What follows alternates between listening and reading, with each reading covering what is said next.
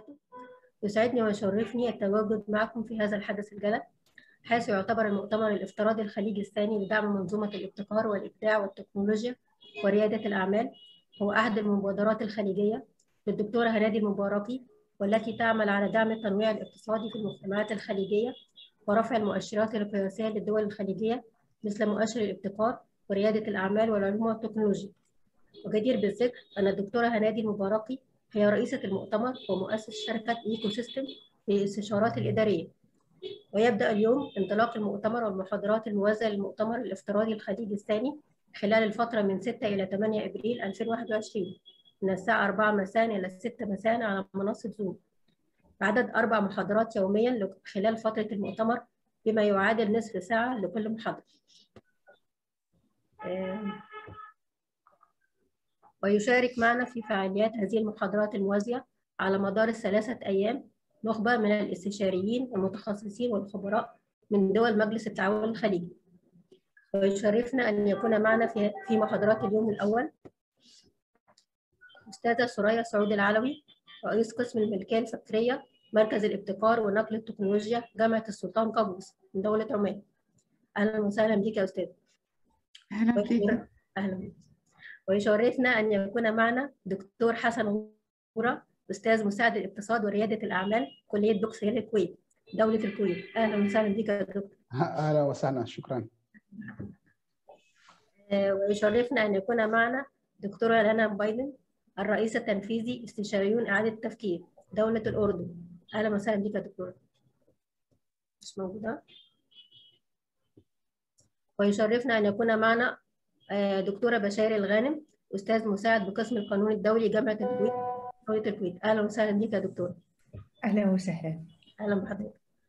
آه والآن نبدأ فعاليات المحاضرات مع دك... مع الأستاذة سوريا سعود العالم تفضلي يا شكرا أخت إيناس. آه وأنا سعيدة جدا بتواجدي مع نخبة كبيرة من الخبراء من الدول الصديقة والشقيقة. آه معكم ثريا سعود حمد العلوي رئيسة قسم الملكية الفكرية في مركز الابتكار ونقل التكنولوجيا في جامعة السلطان قابوس في سلطنة عمان.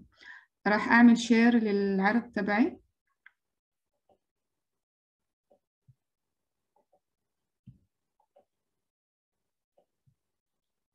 أتمنى يكون العرض واضح. واضح؟ واضح دكتورة تفضلي.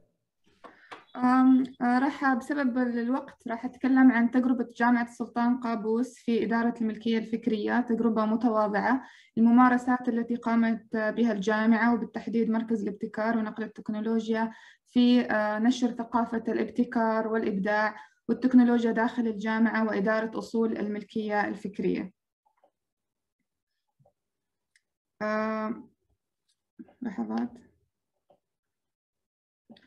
آه راح أتكلم في البداية فقط آه لماذا هناك كانت الحاجة للاهتمام بالابتكار والملكية الفكرية والاختراع داخل جامعة السلطان قابوس؟ جامعة السلطان قابوس تعتبر من الجامعات الأولى الحكومية الموجودة داخل سلطنة عمان جامعة جدا كبيرة تحتوي على تسع كليات ذات تخصصات مختلفة اللي هي العلوم الزراعية والبحرية كلية الهندسة العلوم الطب والعلوم الصحية التمريض الاقتصاد والعلوم السياسية الآداب والعلوم الاجتماعية الحقوق والتربية. آه هذه الكليات كلها نشيطة في جانب آه سواء كان الجانب الأكاديمي من ناحية التدريس أو من ناحية البحث العلمي في قيام العديد من الأبحاث في آه العلوم التطبيقية.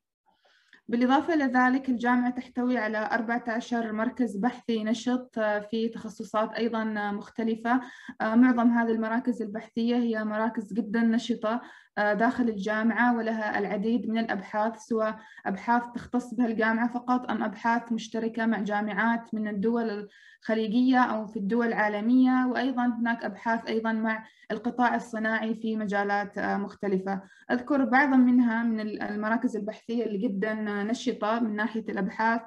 مثل مركز أبحاث النفط والغاز مركز أبحاث المياه مركز أبحاث علوم الأرض مركز أبحاث الطاقة المستدامة البحوث الطبية ومركز أبحاث تقنية النانو.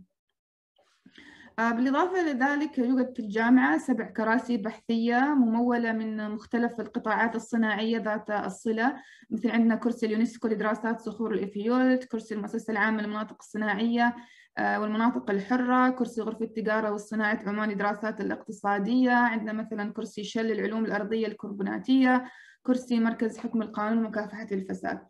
حبيت فقط أعطي نبذة عن هذه الأنشطة البحثية الموجودة بالجامعة علشان نعرف ليش إحنا بحاجة إلى إدارة لهذه الأصول الملكية الفكرية وإدارة لهذه الأبحاث وغيرها من الأنشطة البحثية الموجودة داخل الجامعة. بالنسبة للإنتاج البحثي الموجود داخل الجامعة إذا تكلمنا عن الإحصائيات حتى عام 2019 نلاحظ هنا أنه المنشورات من ضمن المنشورات اللي طلعت من أروقة الكليات أو المراكز البحثية واللي تم نشرها في سكوبس من 16 لعام 2019 عندنا وصل ل 1045 في سنة 2019 وحدها. يختلف المجالات أو الأوراق العلمية الموجودة في سكوبس ما بين مقالات ومراجعات أوراق مؤتمرات أو أحيانا parts من ضمن كتاب أو مقالات تحريرية. بالنسبة إلى المجالات الأكثر نشطة في جامعة السلطان قابوس مثلا لو نتكلم في عام 2019 المجالات الطبية عندنا نشطة جدا المجالات الهندسية الزراعية والعلوم البيولوجية العلوم البيئية علوم الحاسب الآلي والفيزياء والفلك. فنلاحظ هنا أنه معظم الأنشطة هي عبارة عن applied science يعني في العلوم التطبيقية واللي هي ممكن إنها تطلع فيها براءات أو أو اختراعات أو ابتكارات جديدة تخدم القطاع الصناعي بشكل جدا كبير. متى بدأ الاهتمام بالابتكار والتكنولوجيا داخل جامعة السلطان قابوس؟ عندنا في العام 2000 تم إنشاء مكتب شؤون الابتكار كان مكتب ضمن عمادة البحث العلمي مكتب جدا صغير كان يقوم بإدارة البحوث من ناحية إدارية وتوجيهها بحيث تتناسب مع التحديات الموجودة في القطاع الصناعي والتحديات الموجودة في الماركت أو السوق بحيث تتوجه الأبحاث بما تتناسب مع طبيعة التحديات الموجودة في السوق أو في القطاع الصناعي. في العام 2006 تم upgrading لهذا المكتب. صار قسم وأطلق عليه قسم شؤون البحث والابتكار. وفي خلال تلك السنوات جاء مقترح إنشاء سياسة للملكية الفكرية داخل الجامعة ولكن لم يتم إنشائها مجرد اقتراحات ومناقشات من ضمن الكليات وداخل المجلس الأكاديمي والجامعي في الجامعة. في العام 2010 تم أيضا عمولها upgrade أكثر للقسم صار من قسم تحول إلى دائرة وأطلق عليه دائرة شؤون الابتكار. وتم فيها تطوير إجراءات تقديم طلبات الملكية الفكرية بالنسبة للأبحاث العلمية ولجميع منتسبي الجامعة سواء كان هو باحث أكاديمي أو حتى كان طالب. وأيضا بدأت عملية الإيداعات بالنسبة لبراءات الاختراع في المكتب الأمريكي لأنه كان في تلك الفترة لا زال المكتب العماني يعني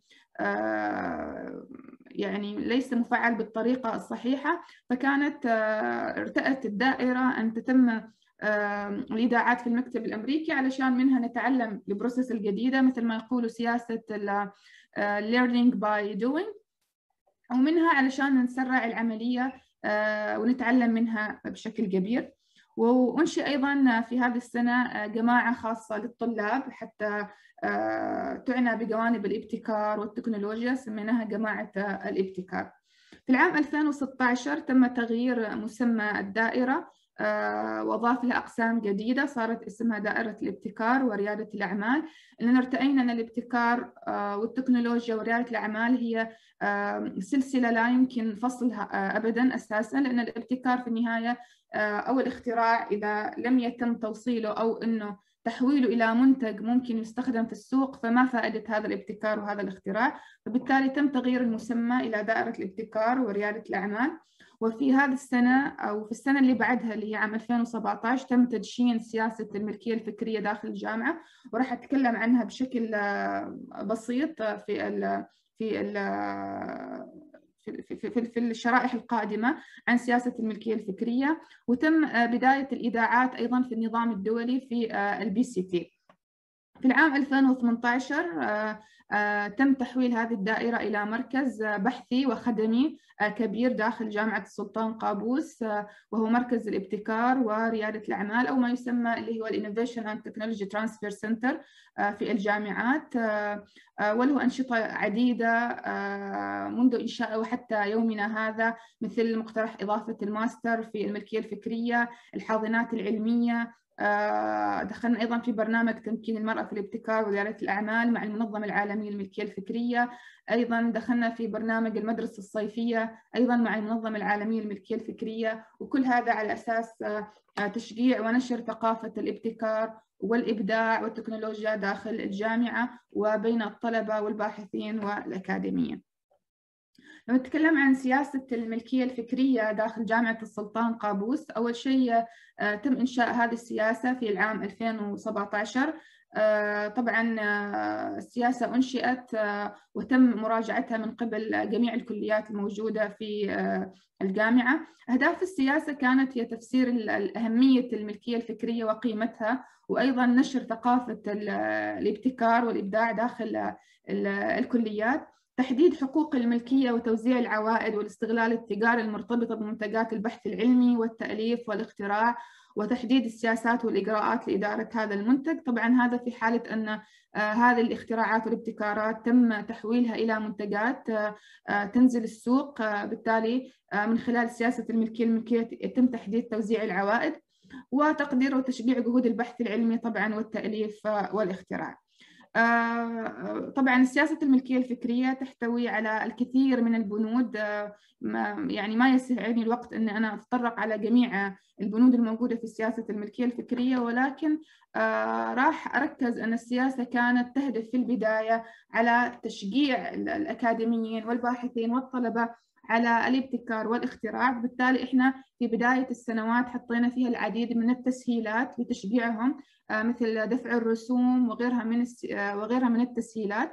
ولكن هذه السياسة حسب البند الموجود فيها واضح أن تم مراجعتها كل تقريبا كذا خمس سنوات. نشوف وين وصلنا وإيش ممكن نعدل فيها وإيش التسهيلات أكثر ممكن نعطيها وغيرها.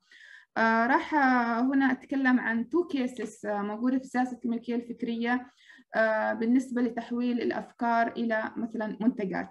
ال case الأول الموجود معنا في السياسة أن إذا كان المخترع أو المنتسب المنتسب الموجود في الجامعة سواء كان مخترع سواء كان باحث أو كان أكاديمي أو كان طالب داخل منظومة جامعة السلطان قابوس وطلع باختراع أو ابتكار من ضمن استخدامه لل facility للجامعة أو من ضمن إذا كان أكاديمي أو باحث من ضمن المقرر الأكاديمي تبعه أو من ضمن البحوث الممولة داخل جامعة السلطان قابوس. وإذا كان هذا الابتكار إذا جديد يتم دفع الرسوم من قبل جامعة السلطان قابوس الحفظ والإيداع وبالتالي الحصول على براءة اختراع. إذا إذا حصل على ملكية فكرية أيا كان نوعها سواء كان براءة اختراع سر تجاري تصميم صناعي أو غيره غيره من أنواع الملكية الفكرية يتم بعدين بحث البحث والتطوير فيها اللي هي مرحلة ال R&D عندنا برنامج أيضا للحاضنة العلمية إذا كان بحاجة إلى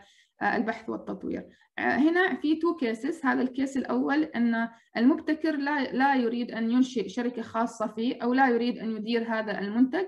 وبالتالي هو يريد يعمل له ترخيص لشركة already قائمة أو مهتمة أو مثلا هناك مستثمر يحب يستثمر في هذا المنتج.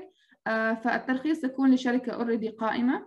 نسبة في هذه الحالة إذا كان الترخيص لشركة قائمة غير عن المخترع نسبة العوائد الصافية تذهب 30% للجامعة تعود و70% للمخترعين وطبعا هذا ممكن يكون كرم من ناحية جامعة سلطان قابوس. وهذا لتشجيع المبتكرين والمخترعين علشان يجوا ويفصحوا عن الاختراعات والابتكارات تبعهم إلى مركز الابتكار ونقل التكنولوجيا وحفظها وبالتالي تطويرها وممكن تحويلها لاحقا إلى منتج.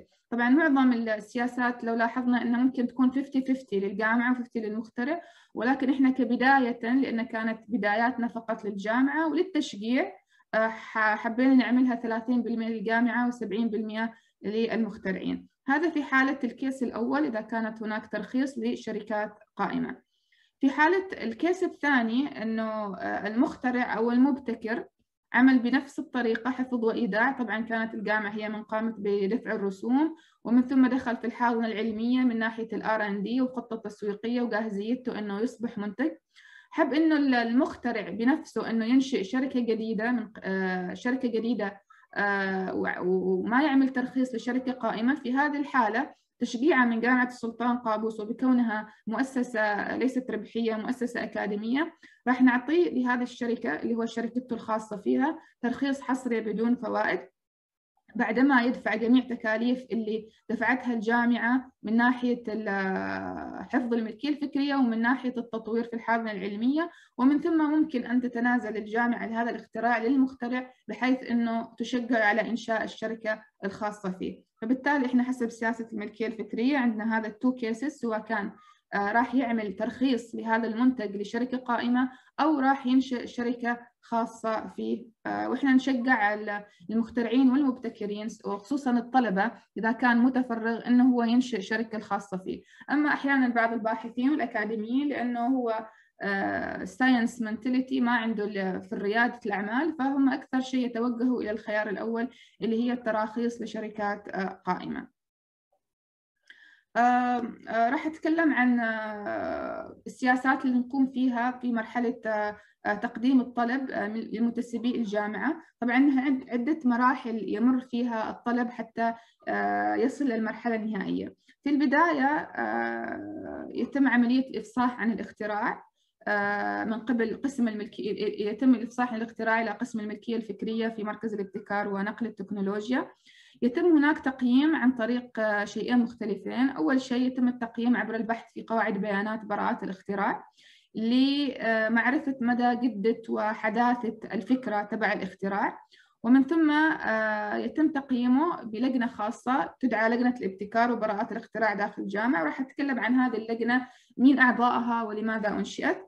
إذا إذا إذا إذا لجنة الابتكار وبراءات الاختراع وافقت على هذا الاختراع وتم تقييمه حسب الكريتيريا تبع منح براءة الاختراع اللي هي الجدة والحداثة هل يوجد فيها خطوة ابتكارية هل قابل للتطبيق الصناعي. إذا كان تمت الموافقة عليه ننتقل للمرحلة القادمة. إذا إذا لم يتم الموافقة عليه يتم إختار صاحب الطلب اللي هو المخترع لتطوير هذا الابتكار وإنه ممكن يأتينا مرة ثانية إذا تم تطويره وإضافة ميزات تقنية جديدة. إذا تم الموافقة عليه يدخل في مرحلة اللي هو الإيداع اللي هو مرحلة كتابة مسودة البراءة بالطريقة الصحيحة. ومن ثم اختيار المكتب الذي يتم فيه إيداع الطلب حسب طبعا السوق لهذا المنتج هل هل هو سوف يتم إيداعه في المكتب العماني أم هل يتم إيداعه في المكتب الخليجي مثلا أم في المكتب الأوروبي أم الأمريكي أو غيره.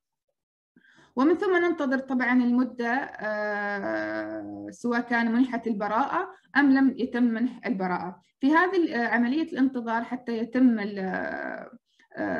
يعني أحيانا يحتاج 18 شهر حتى يتم البث في موضوع البراءة. يبدأ مرحلة التسويق والاستغلال التجاري من حيث التواصل مع القطاع الصناعي المهتمين بهذا المنتج.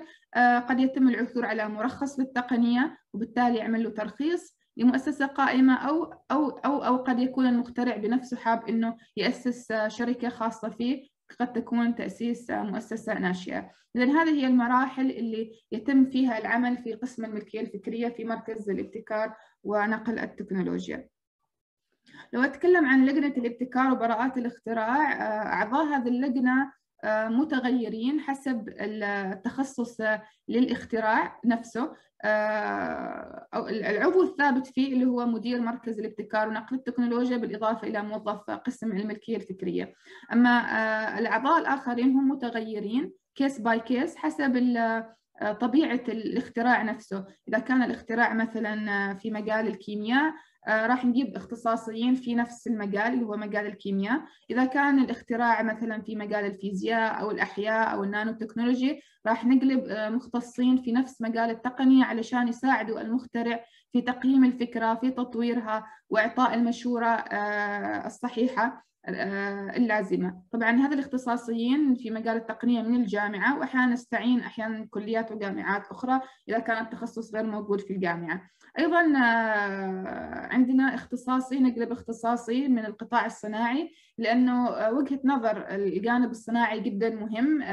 ما هي التحديات اللي تواجههم أو هل هل هناك حاجة لهذا المنتج أصلا في السوق في ذلك القطاع أو لا.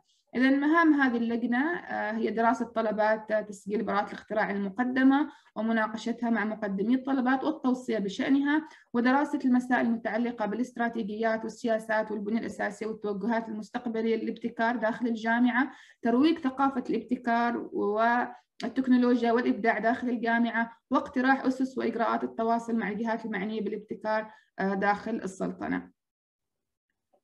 طبعا أيضا هناك عندنا برامج لنشر ثقافة الابتكار والملكية الفكرية داخل الجامعة. في هناك برامج مشتركة مع لنا علاقة جدا قوية مع المنظمة العالمية للملكية الفكرية. من البرامج المشتركة معاهم اللي هي المدرسة الصيفية في الملكية الفكرية. عملنا لها مرتين. مرة كانت باللغة الإنجليزية والمرة القادمة راح تكون إن شاء الله في أغسطس من عام 2021 بتكون باللغة العربية ومفتوحة ليست فقط داخل السلطنة آه راح تكون مفتوحة أيضا لجميع الدول الإقليمية اللي طبعا آه اللي يتكلموا اللغة العربية بما أنها بتكون باللغة العربية. عندنا أيضا برنامج تمكين المرأة في الابتكار وريادة الأعمال من ضمن البرامج المشتركة مع الملكية الفكرية لزيادة عدد النساء المبتكرات والمخترعات ورائدات الأعمال داخل السلطنة. أيضا هناك مقترح لبرنامج الماستر في الملكية الفكرية مع المنظمة العالمية للملكية الفكرية والورش التخصصية اللي تقدم من قبل المنظمة لمنتسبي الجامعة. هناك أيضا برامج خاصة بالمركز اللي هي الزيارات الميدانية للباحثين والأكاديميين لتشجيعهم على الابتكار وأيضا توجيههم التوجيه الصحيح من ناحية أنه الأبحاث تكون موجهة نحو تكنولوجيا معينة تخدم القطاع الصناعي وبالتالي يسهل تطبيقها لاحقا في السوق. أيضا هناك ورش عامة وتخصصية داخل وخارج الجامعة. نعمل كثير من البرامج سواء كان لطلبة الجامعة للباحثي الجامعة أو أيضا للكليات أخرى خارج الجامعة. مسابقات ومبادرات وأيضا محاضرات. ضمن المقررات الأكاديمية للطلبة صارت الكثير من المقررات تطلب وجود مادة عن الملكية الفكرية أو مادة عن الابتكار وريادة الأعمال. وصار المركز يقدم العديد من المحاضرات ضمن المقررات الأكاديمية للطلبة. لو نشوف بعض الإحصائيات الخاصة بقسم الملكية الفكرية في المركز من ناحية طلبات الإفصاح هي في تزايد بسبب الجهود المبذولة من قبل المركز. طلبات الإيداع أيضا براءات الاختراع الممنوحة. هي صارت أيضا في تزايد مع أنه أحيانا وبسبب الحين مثلا السنوات الثلاث الأخيرة 2020 2019 بسبب طبعا كنا نعرف وضع كورونا صار شوي هبوط في طلبات الإفصاح. ولكن نحن بالجهود المبذولة مع البرامج مع مع السياسة نحاول نشجع زيادة عدد طلبات الإفصاح داخل الجامعة. في الأخير أتكلم عن بعض النماذج لإدارة أصول الملكية الفكرية داخل جامعة السلطان قابوس. عندنا هنا مثال لبراءة اختراع لأحد الإداريين الموجودين في المكتبة الرئيسية في جامعة السلطان قابوس لاختراع المسمى مسند آلي لأرفف الكتب في المكتبات حصلنا فيه على براءة اختراع. وقرر نعملها ترخيص حصلنا على شركة عملنا لها ترخيص لشركة القرية الهندسية وكان نوع الترخيص اللي هو تطوير وتصنيع في نفس الوقت. وتم الاتفاق على نسبة العوائد الصافية أن 25% للجامعة و75% للشركة. هذه أحد النماذج الناجحة لإدارة أصول الملكية الفكرية. نموذج أيضا آخر حصلنا على اختراع في في أصولين للملكية الفكرية اللي هي براءة اختراع زايد سرتيغاري لاختراع مسمى صناعة كريمة دبس التمر بطريقة علمية وغير مكلفة. والمقترح هو إنشاء شركة ناشئة من هذا المنتج والحين إحنا في صدد دراسة السوق ووضع الخطة التأسيسية وسوف نرى يعني كيف بالإمكان تبني المصنع ونسبة العوائد ما بين المخترع والجامعة. لا زالت هذه في طور الدراسة. إذا هذه نموذجين حبيت يعني أظهرهم هنا عن إدارة أصول الملكية الفكرية وأن كيف نحول هذه الأصول إلى منتجات ذات لها قيمة إضافية في السوق العماني أو حتى في الأسواق الخليجية والإقليمية. هذا أعطيتكم نبذة بسيطة عن أفضل الممارسات المقدمها في قسم الملكية الفكرية في مركز الابتكار ونقل التكنولوجيا وسعيدة بمشاركتي معكم وأعتقد الاستفسارات ممكن تكون الأسئلة لاحقاً. شكرا جزيلا أستاذة سعود العلوي. شكرا. آه والآن نبدأ المحاضرة الثانية مع دكتور حسن غورة أستاذ مساعد مدير الاقتصاد وريادة الأعمال والمراقب العالمي لريادة الأعمال كلية بوكس هيل الكويت. اتفضل يا دكتور. السلام عليكم يعطيكم العافية. واضح الصوت؟ آه تمام. تمام إذا بتسمحوا لي بس واضح اتفضل. نعمل share screen.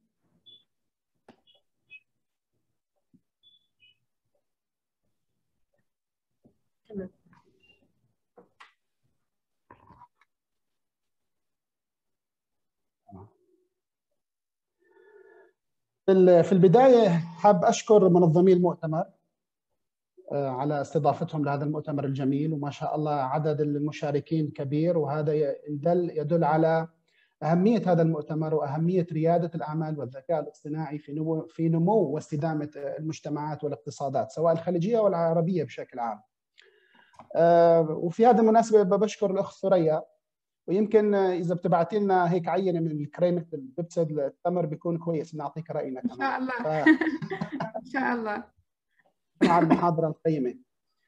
في الحقيقة بدأت علاقتي مع ريادة الأعمال في 2014 لما بدأت دراسة الدكتوراه بجامعه برونيل لندن. ومن أهم التقارير التي يعني تصدر بشكل سنوي من سنة 1999 هو المرصد العالمي لريادة الأعمال Global Entrepreneurship Monitor. لكن للأسف هذا التقرير اللي هو أهم تقرير عن ريادة الأعمال يقيس نشاط ريادة الأعمال في الدول في العالم بدأ بخمس دول وانتهى يعني مئات عفوا فوق ال دولة شاركت في هذا التقرير. لكن للأسف في نقص في هذا بالمعلومات عن الدول العربية والدول الخليجية بشكل يعني محدد.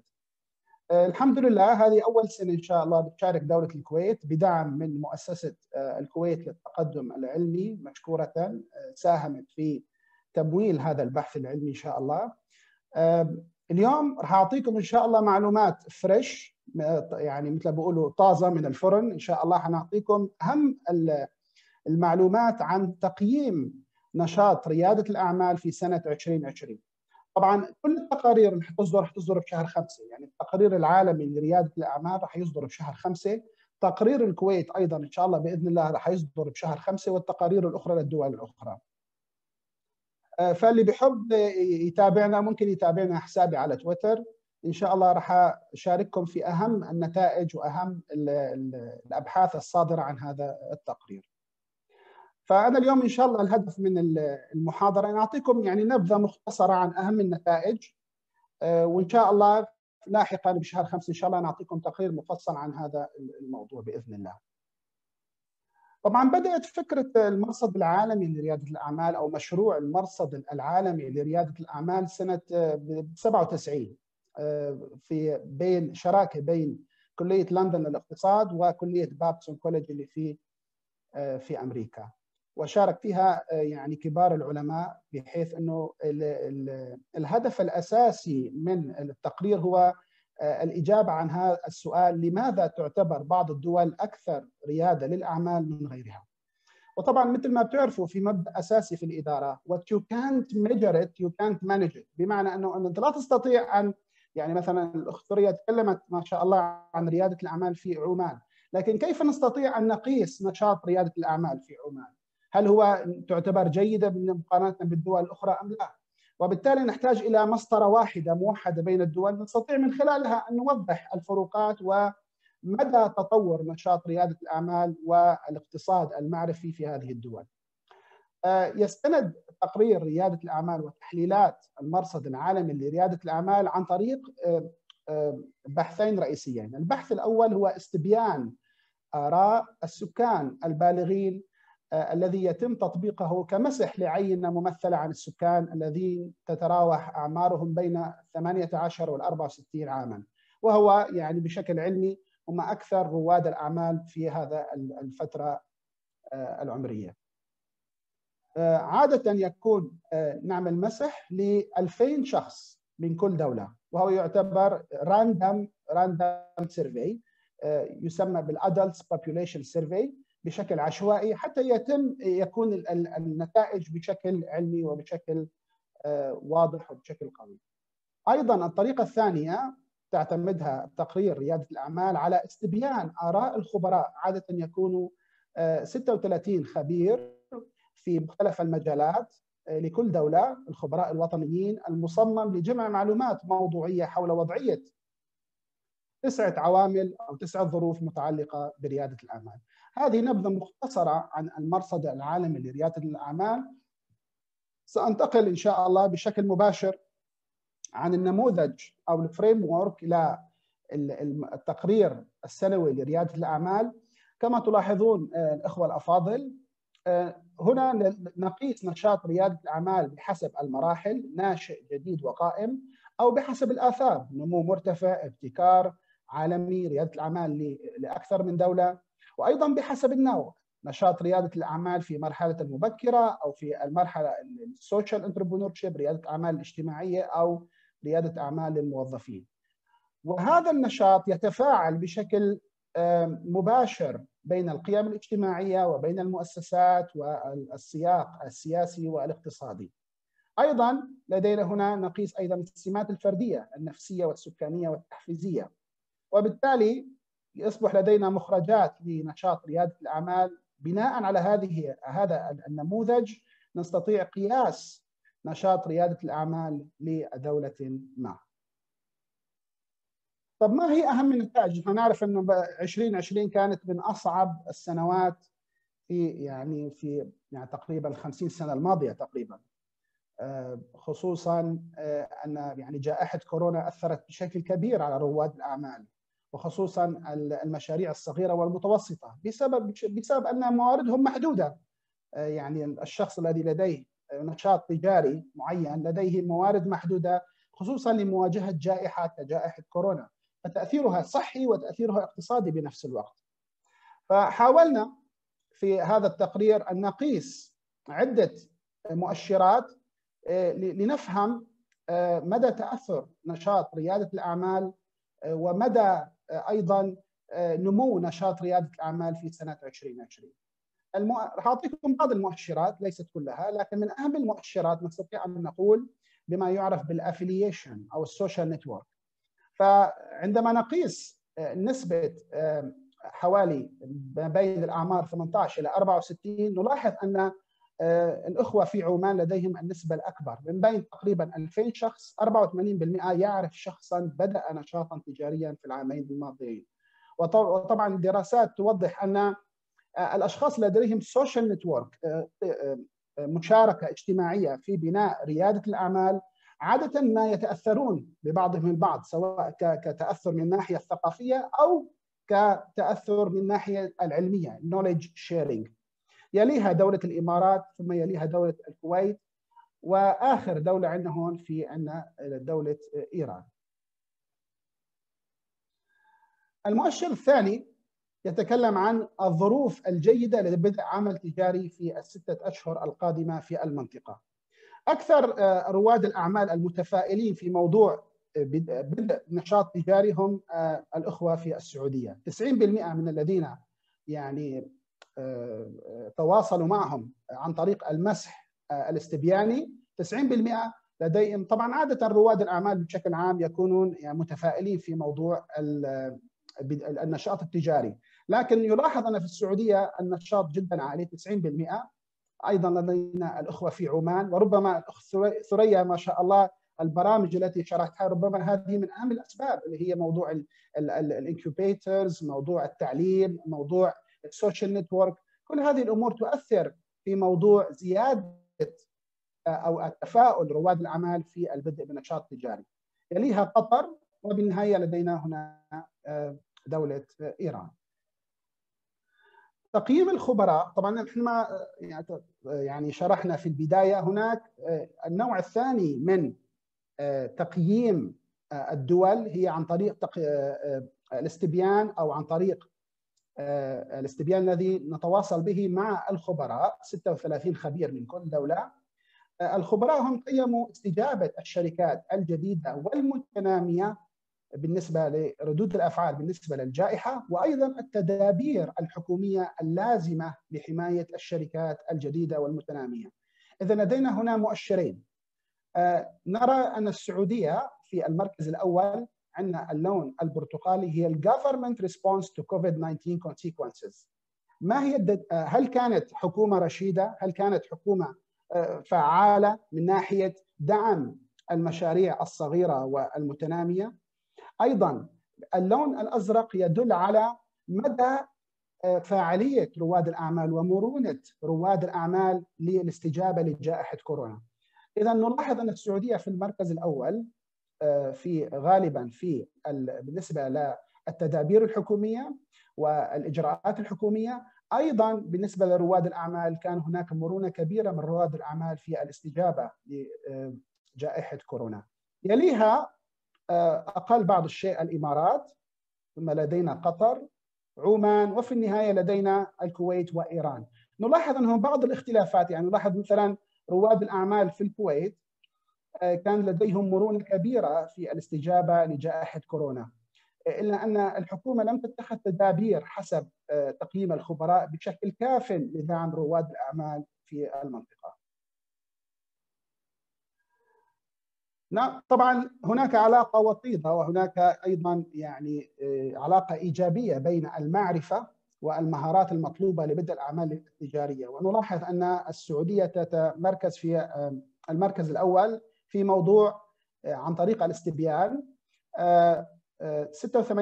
من الإخوة في السعودية يؤكدون أن لديهم المعرفة أو المهارة المطلوبة لبدء الأعمال، اذا ربما الباحثين يجب عليهم دراسة دولة السعودية لماذا لديهم هذا النوع من البرسبشن، هذا الإدراك أن لديهم المعرفة المطلوبة لبدء الأعمال التجارية؟ هل هو بسبب بيئة الأعمال الموجودة؟ هل هو بسبب النظام المعرفي أو النظام التعليمي الموجود في السعودية؟ اذا هناك بعض الأسئلة التي ربما نستطيع أن نتعلم منها وربما نشجع الأخوة لعمل أبحاث أكثر في هذا الموضوع. يليها بفارق يعني حوالي 20% قطر بالتوازي مع إيران وعمان والكويت والمغرب وبنسبة أقل مصر والإمارات. اعلى معدلات الخوف من الفشل وهذا بالامانه من أهم المؤشرات التي ربما يعني تؤثر على البدء بالأعمال سواء بدء أعمال كمشاريع صغيرة أو بدء المشاريع المتوسطة. نلاحظ أن الكويت في الصدارة 50% من الذين عملنا معهم استبيان وضحوا أن هناك خوف من الفشل الذي سيمنع بدء عمل تجاري يليها السعودية. أيضا هناك يجب ان يعني يجب أن يكون هناك دراسات لأنه الدراسات توضح أن عادة التعليم سيخفف من الخوف من الفشل. أيضا ال media attention ال media support ثقافة المجتمع ربما تستطيع أن تحد من زيادة الخوف من الفشل في البدء بالأعمال. فنلاحظ مثلا السعودية لديها نسبة 50% حوالي حوالي 50% لديهم الخوف من الفشل في بدء عمل تجاري لكن أيضا السعودية لديها نسبه عالية في بالنسبة للمعرفة والمهارة. اذا هناك بعض الظواهر التي يجب علينا دراستها إن شاء الله في المستقبل وأنا أشجع الإخوة إن شاء الله في السعودية أو في الكويت أو في الدول الخليجية والعربية في دراسة هذه الظواهر ومعرفة أسباب لماذا هناك خوف من الفشل في بدء عمل تجاري في دولة ما. من السهل بدء عمل تجاري في بلدك. طبعا عاده عندما تسأل هذا السؤال لشخص ما عاده يخطر على بالي عاده الإجراءات الحكومية وتشجيع بيئة الأعمال. فنلاحظ أن أيضا السعودية تتصدر المشهد ب 91% من ال 2000 شخص الذي عملنا معهم استبيان. يليها بفارق كبير يعتبر الإمارات وقطر وعمان والكويت ومصر في تقريبا في نفس المستوى ما بين ال 61% إلى 70% تقريبا طبعا هناك أقل المغرب وبنسبة كبيرة لدينا إيران اذا بناء على المينا ريجن منطقة الشرق الأوسط نلاحظ تقريبا أن السعودية تتصدر المشهد مرة أخرى من ناحية سهولة البدء عمل تجاري في البلد. بالنسبة لمراحل أنشطة ريادة الأعمال phases of entrepreneurial activity. هناك ثلاثة مراحل. الانتنشنز هناك نية يعني لا يوجد هناك فعلي في ريادة الأعمال. مثلا الحصول على الرخصة أو مثلا دفع بعض المصاريف للبدء بالأعمال. نلاحظ أن هناك نية عالية intentions بين الكويتيين وهذا يعتبر مؤشر جيد أن الكويتيين مثلا أو الكويتيون لديهم يعني تركيز عالي على وهذا يعتبر جزء من ثقافة البلد أيضا. يعني عندما يعني عادة عندما تناقش أي شخص هنا أيضا في الكويت نلاحظ أن لديهم دائما النية في بدء مشروع. فالنية موجودة لكن نلاحظ أيضا أن البدء في الأعمال هناك نسبة قليلة حتى ما بين أغلب الدول سواء العربية أو في منطقة الشرق الأوسط النسبة تعتبر قليلة نسبيا.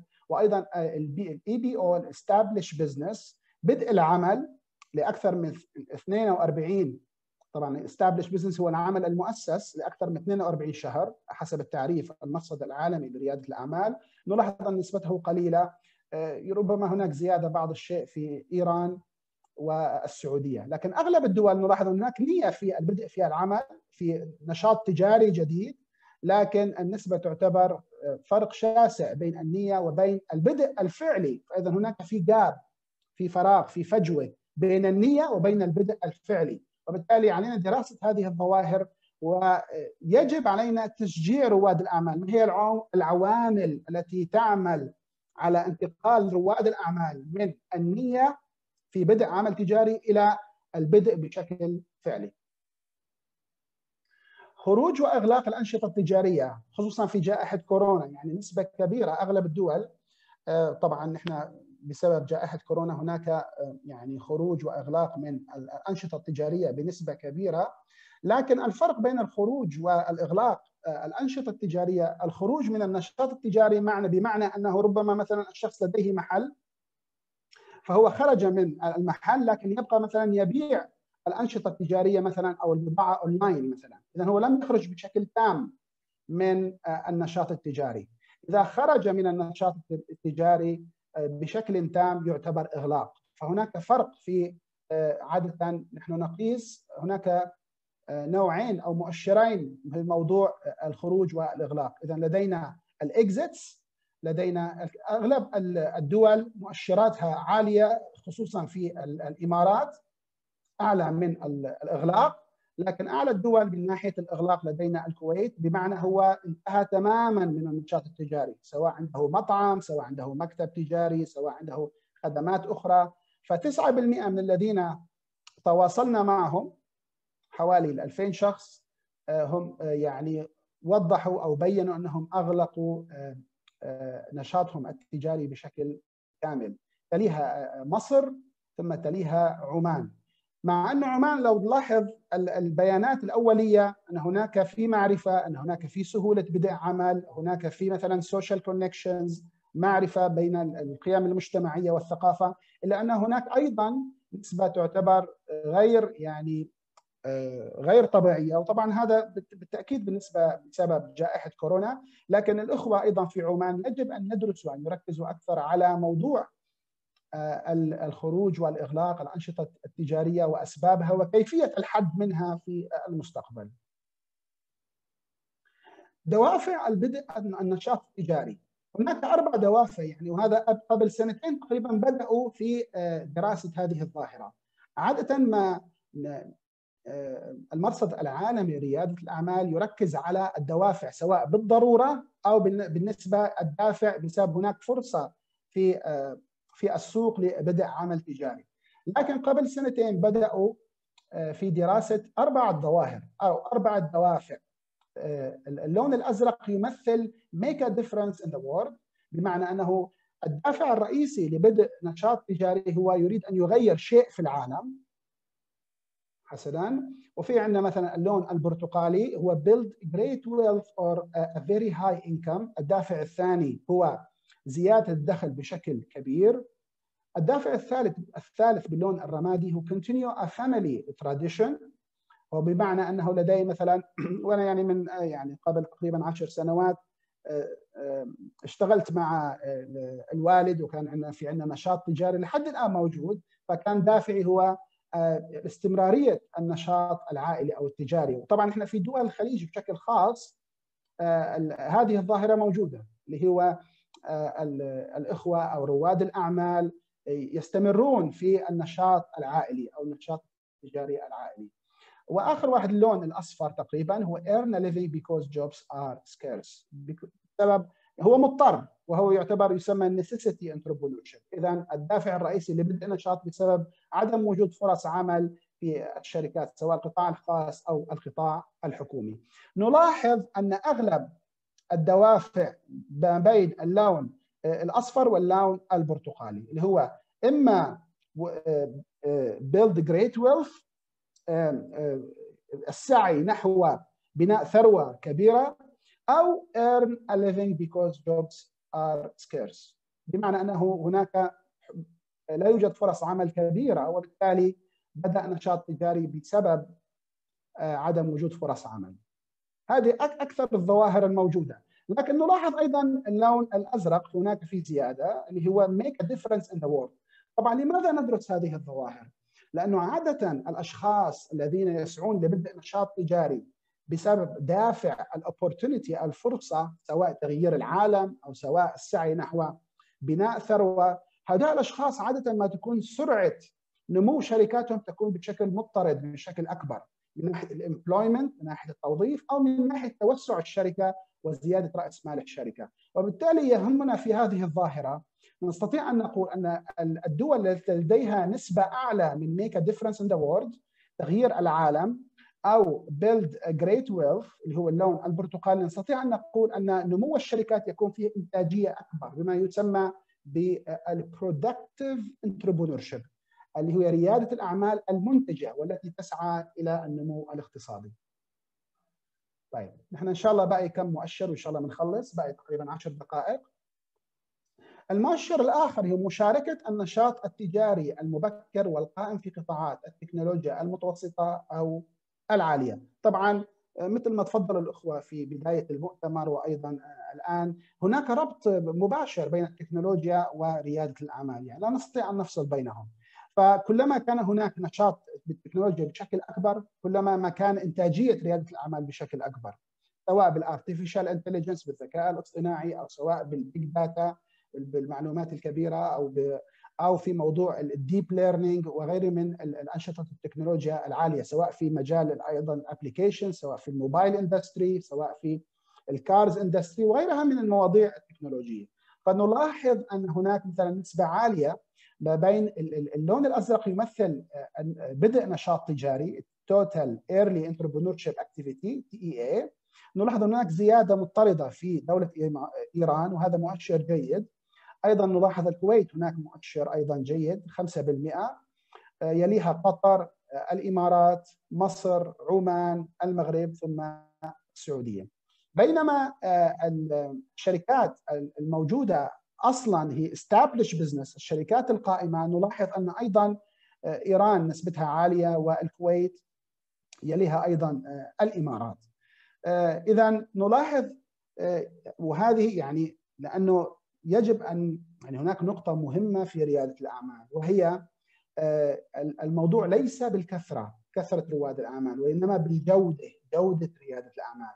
يعني فنحن بنقول في مثل it's not about quantity it's about quality ممكن شركة واحدة تكون منتجة وعندنا هون بعض الأمثلة الممتازة عندنا في الكويت مثل طلبات مثل جاست كلين مثل فكرة بوتيكات. هذه الشركات عبارة يعني الشركات هذه مبنية على التكنولوجيا قامت بتوظيف مئات وربما آلاف الموظفين. وبالتالي ممكن شركة واحدة تكون أفضل من ألف شركة قائمة مبنية على ليست مبنية على التكنولوجيا سواء التكنولوجيا المتوسطة أو المتوسطة أو أو العالية فكلما كان هناك مشاركة بين النشاط التجاري في قطاعات التكنولوجيا كان هناك مشاركة أكبر كلما كان هناك مؤشر أن هذه الاقتصادات تكون تسعى إلى الاستدامة والنمو بشكل كبير وتنويع مصادر الدخل خصوصا أن دول الخليج تعتمد على النفط. توقع خلق فرص عمل عندما عملنا استبيان نلاحظ أن الإخوة في قطر يلاحظ هناك نسبة عالية 60% يتوقعون هناك فرص عمل أكثر من عشر وظائف يستطيعون يعني رواد الأعمال في قطر خلال الخمس سنوات القادمة يستطيعون خلق أكثر من عشر فرص عمل في الخمس سنوات القادمة القادمة. أيضا لدينا الإمارات نسبتها جيدة وبعدها يليها الكويت والسعودية والدول الأخرى. أعلى نسبة بالنسبة للإستابلش بزنس اللي هي الشركات القائمة نلاحظ أنها في الإمارات يليها قطر والكويت. أيضا هذه ظواهر يجب علينا دراستها. يعني لماذا مثلا الإمارات وقطر يتصدران المشهد في خلق فرص العمل؟ وهذا يعني يعني فرصة للباحثين في دراسة هذا الموضوع. هل هي البيئة؟ هل هناك عوامل أخرى عوامل اقتصادية عوامل اجتماعية؟ هل هناك منظومة اقتصادية أو منظومة ريادة أعمال تعمل على الدفع إلى إلى إلى رواد الأعمال في خلق وإنشاء شركات جديدة في الدول المذكورة؟ التصدير من أهم المؤشرات لأن التصدير عادة عندما تصدر شيئا فهذا يعني أنك تتفوق على دول أخرى. وبالتالي فأنت لديك بما يعرف النو هاو لديك المعرفة. فمؤشر التصدير عادة ما يكون هو عبارة عن يعطيك رسالة ضمنية أو مؤشر أن هناك معرفة أو هناك اقتصاد معرفي في هذه الدول. ونرى أن هناك دولة الإمارات تتصدر المشهد. خصوصا في رواد الأعمال ال total early entrepreneur activity الإمارات والكويت وقطر يتصدرون المشهد في هذا الموضوع. وبالتالي نستطيع أن نقول أن هناك معرفة هناك تنوع اقتصادي أكثر من الدول الأخرى. إذا فكرة التصدير هناك ارتباط مباشر وهناك يعني مركز معروف اللي هو ال Harvard Business Growth اللي بحب يطلع عليه. ونشره أنا بحسابي على تويتر. يصدر بشكل سنوي أهم الدول التي لديها تصدير أكبر وتنوع في التصدير. فعادة كلما زاد التنوع في التصدير كلما كان مؤشرا على هناك تنوع اقتصادي أكثر في الدول. تقريبا آخر شريحة إن شاء الله. هون يعني ركزنا على الكويت بما أنه نحن يعني يعني أنا بدير فريق الكويت للمرصد العالمي لريادة الأعمال هون في الكويت.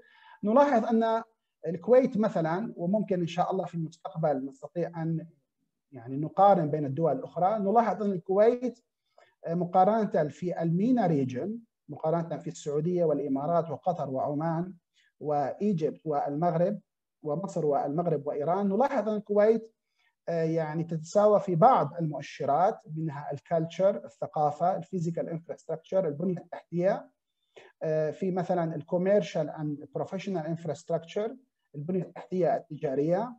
وفي أيضا في ال government policies السياسات الحكومية من ناحية ال taxes وال bureaucracy لكن في مؤشرات أخرى الكويت تعتبر بنسبة أقل بالنسبة للمؤشرات الأخرى من ناحية ال government policies بناحيه دعم السياسات الحكومية الداعمة لريادة الأعمال أو من ناحية ال entrepreneurial finance الدعم التمويلي.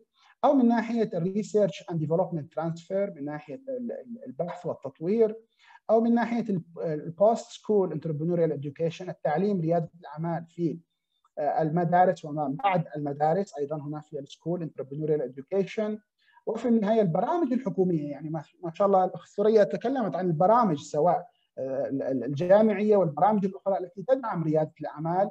فنلاحظ هناك مؤشر يعني هناك فارق يعني يعتبر واضح بين الكويت ومتوسط الدول في منطقة الشرق الأوسط. فكان هذا يعني ربما يعطيكم فكرة أوضح يعني ربما خصوصا زماننا من المشاركين بعض واضعي السياسات أو بعض صانعي القرار. طب هنا نستطيع أن يعني نضع مثل ما بيقولوا نضع على الجرح. أين أين البوتل اللي هي العنق الزجاجة؟ ما هي أهم المؤشرات التي نستطيع أن يعني نحسن منها أو نستطيع أن نطورها في المستقبل وبالتالي نستطيع أن نطور منظومة بيئة الأعمال في الكويت.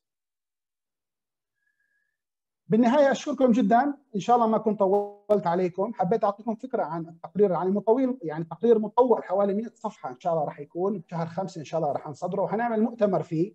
فاللي بيحب يشاركنا المؤتمر حياكم الله. حسابي موجود على تويتر. إن شاء الله حنخليكم نطلع أول بأول على هذا الموضوع. وإن شاء الله تكون استفدتوا من هذه ورشة العمل. يعطيكم العافية. شكرا جزيلا. شكرا جزيلا دكتور حسن غورة أستاذ مساعد مدير الاقتصاد وريادة الأعمال والمراقب العالمي لريادة الأعمال كلية بوكسيل الكويت دولة الكويت. شرفنا بك. شكرا شكرا. يعطيكم العافية.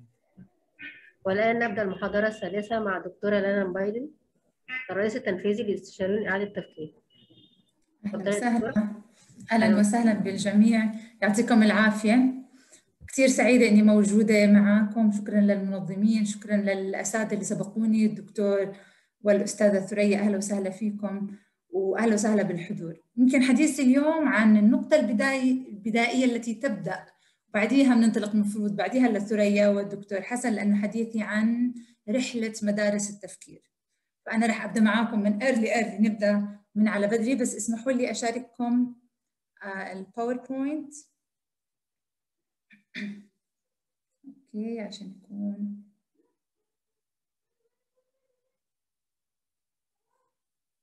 okay.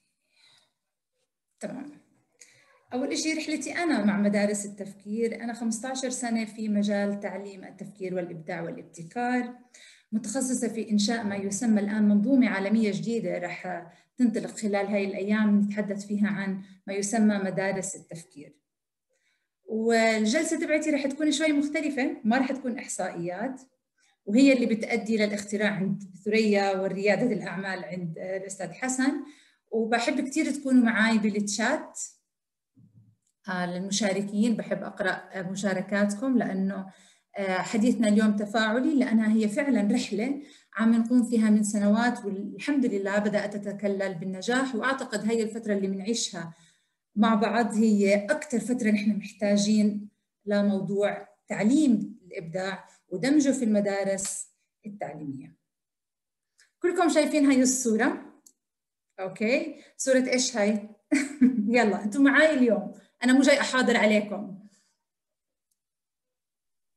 على ال chat yes تليفوننا القديم. وهاد ال iPhone بطلنا نلحق نحن هلأ 12 12 plus okay وبعد شوي بقى بنعرف شو رح يصير. بس after كورونا كيف رح يكون التليفون؟ متخيلين. بناء على التحديات اللي بنعيشها شو رح يصير شيء جديد في ال iPhone والتليفون وال smart phone رح يصير في apps جديدة رائع رح يصير في اختلاف رح يصير ال app فيه طيارة ال app فيه ميزان حرارة ال app إيش فيه؟ ممكن يكون كثير في أمور عم تتطور وبتسرع. طب شو هاي؟ coins عملات العملات. كانوا رايقين الجماعة أياميها. قاعدين بنحط واحدة واحدة. صارت الفيزا وبطلنا نستعمل ال coins وبطلنا نستعملها. يا ترى بعد after corona virus كيف رح تصير العملة؟ كيف رح يكون شكلها؟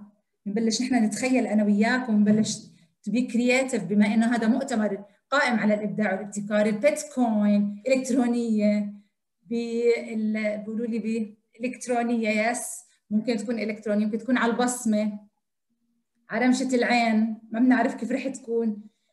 لكن لما نرجع على المدارس وكانت المدارس هيك واستمرت فترة هيك وما صار فيروس كورونا انتقلنا وتحولنا للمدرسة الإلكترونية قلنا wow دخلنا ال smart schools. ولكن للأسف اللي صار استكملنا رحلة التلقين داخل المدارس لكن هاي المرة صار في شاشة وفي صار طالب ورا شاشة. هل هذا هو التعليم عن بعد؟ هل هذا ال smart school اللي قاعدين نحن عم ندور عليها من سنين؟ للأسف اللي شفته وبحكم إني أنا مقيمة مدارس مع جامعات بريطانية وجامعات داخل الأردن من خلال ال innovation lab كان للأسف إحنا تراجعنا لورا رجعنا للتلقين بطل في تعلم متميز وهذا الحديث اللي صار بخليني اليوم أنا وياكم نحكي. لابد يكون في تغيير. اللي عشنا التجربة اللي عشناها نحن وياكم بهاي الفترة بتخلينا ننتبه نحن مش مش محتاجين معلومات نحن محتاجين skills أخذها معي وأطلع فيها على الحياة الحقيقيه وهذا اللي خلانا نشتغل بموضوع الإبداع والابتكار من فترة طويلة. وسبحان الله إجت الفترة الآن يعني قبل 17 سنة لما كنت أقول للناس أنا teaching thinking و creativity كانوا يضحكوا إنه انت حتعلمينا تفكير يا عمي نحن بنفكر يعني شو تجي تعلمينا تفكير؟ هلأ لا نحن عم نحكي عن four generation skills وعم نحكي مع بعض رح نقدر ننتقل لما يسمى مدارس التفكير. وحقيقة أنا عم بحكي الآن من الأرض والواقع من رحلة مدارس التفكير. بدخل بقيم بعض المدارس في السعودية في الأردن مجموعة من المدارس بدينا في دبي. صارت المدرسة العادية هي صح أونلاين ولكنها thinking school عم تفكر بطريقة creative سواء كانت عن بعد أو داخل الصفوف. فلهيك طلبوا مني في هذا المؤتمر إنه دكتور احكي لنا عن هاي الرحلة. اللي هي رحلة مدارس التفكير. اللي صار إنه بما إنه هذا بعد كوفيد 19 طلعت الجامعات مثل ال University of Exeter ومجموعة من الجامعات طلعت تقرير قالت أهم المهارات اللي رح نشتغل فيها أنا شكرا للي قاعد عم بيعلق أنا كثير مبسوطة.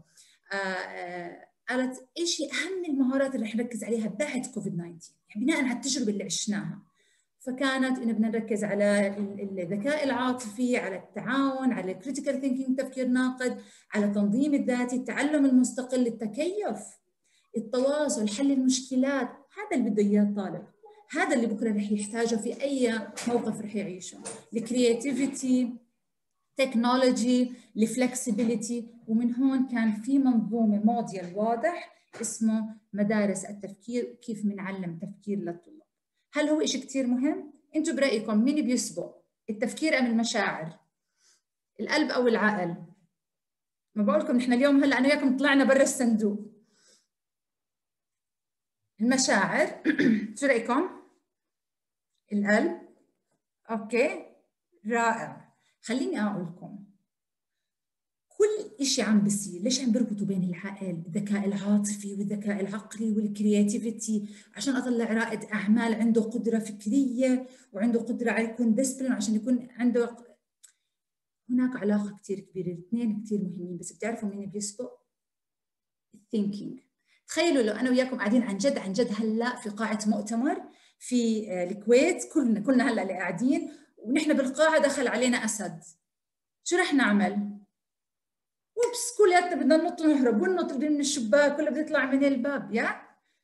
طب ليه أنا خفت؟ بينما لو دخل على القاعة هذا الأسد على قاعه فيها ولد عمره سنة ونص أو سنتين هذا الولد ما رح يخاف بالعكس يمكن يروح يمسك الأسد.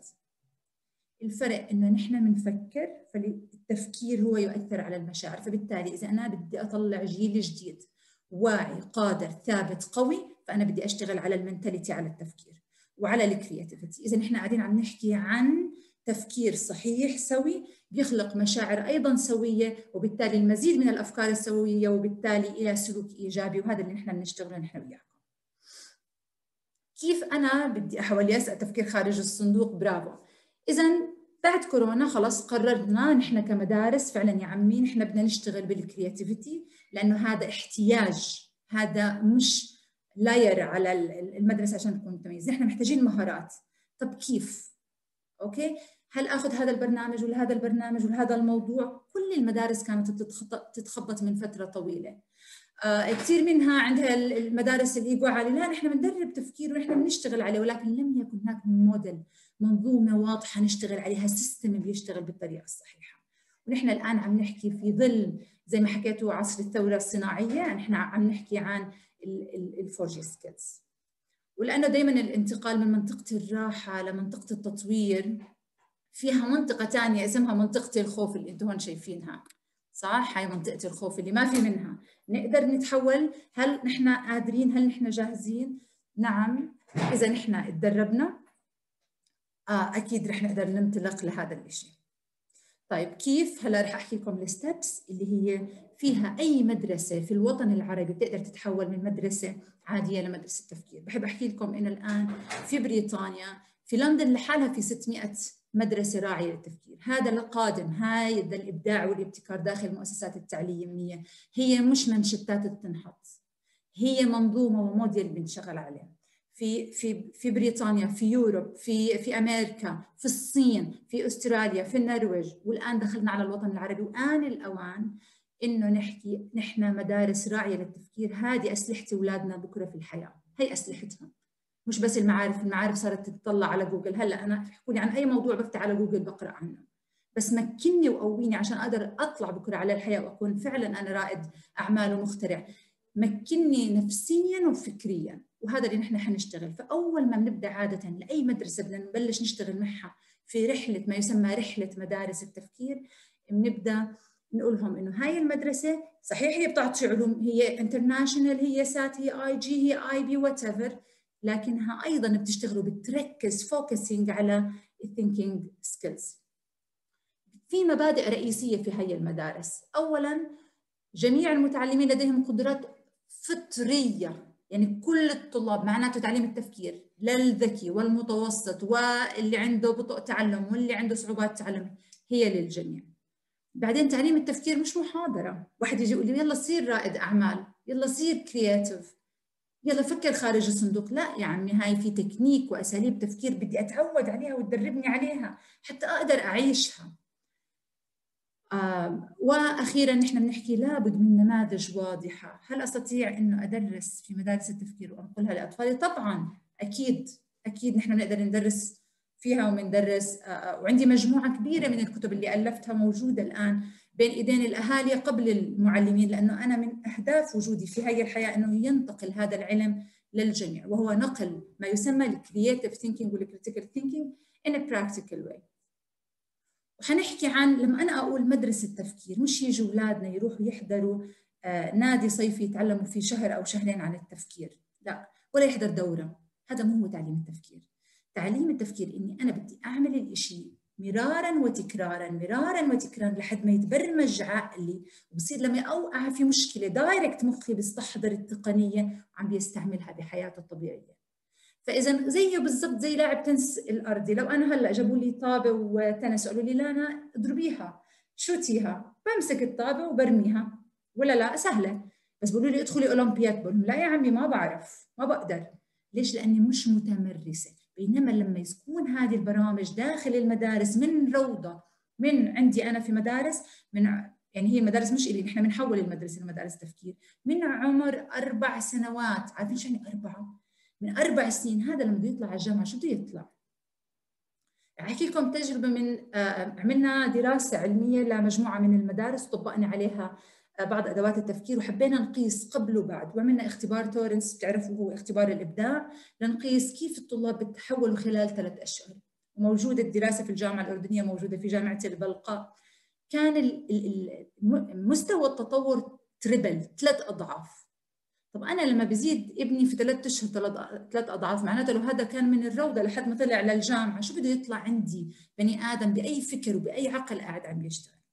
فبالتالي هو فعلا بصير سلوك داخل المدرسة كل يوم بتعرض له الطفل. زيه زي ما أنا هلأ بقول لكم الطالب متعود على طابور الصباح. زي ما بقول لكم الطالب متعود على التعلم التعاوني. الطالب متعود متعود إنه مرارا وتكرارا حتى يصير متقن له. وهون أنا عم ببني خطوط. قاعد عم ببني خلايا عصبية وعم ببني شبكات عصبية في داخل الدماغ لحد ما أكون أنا اطمنت إنه الآن الطالب قادر.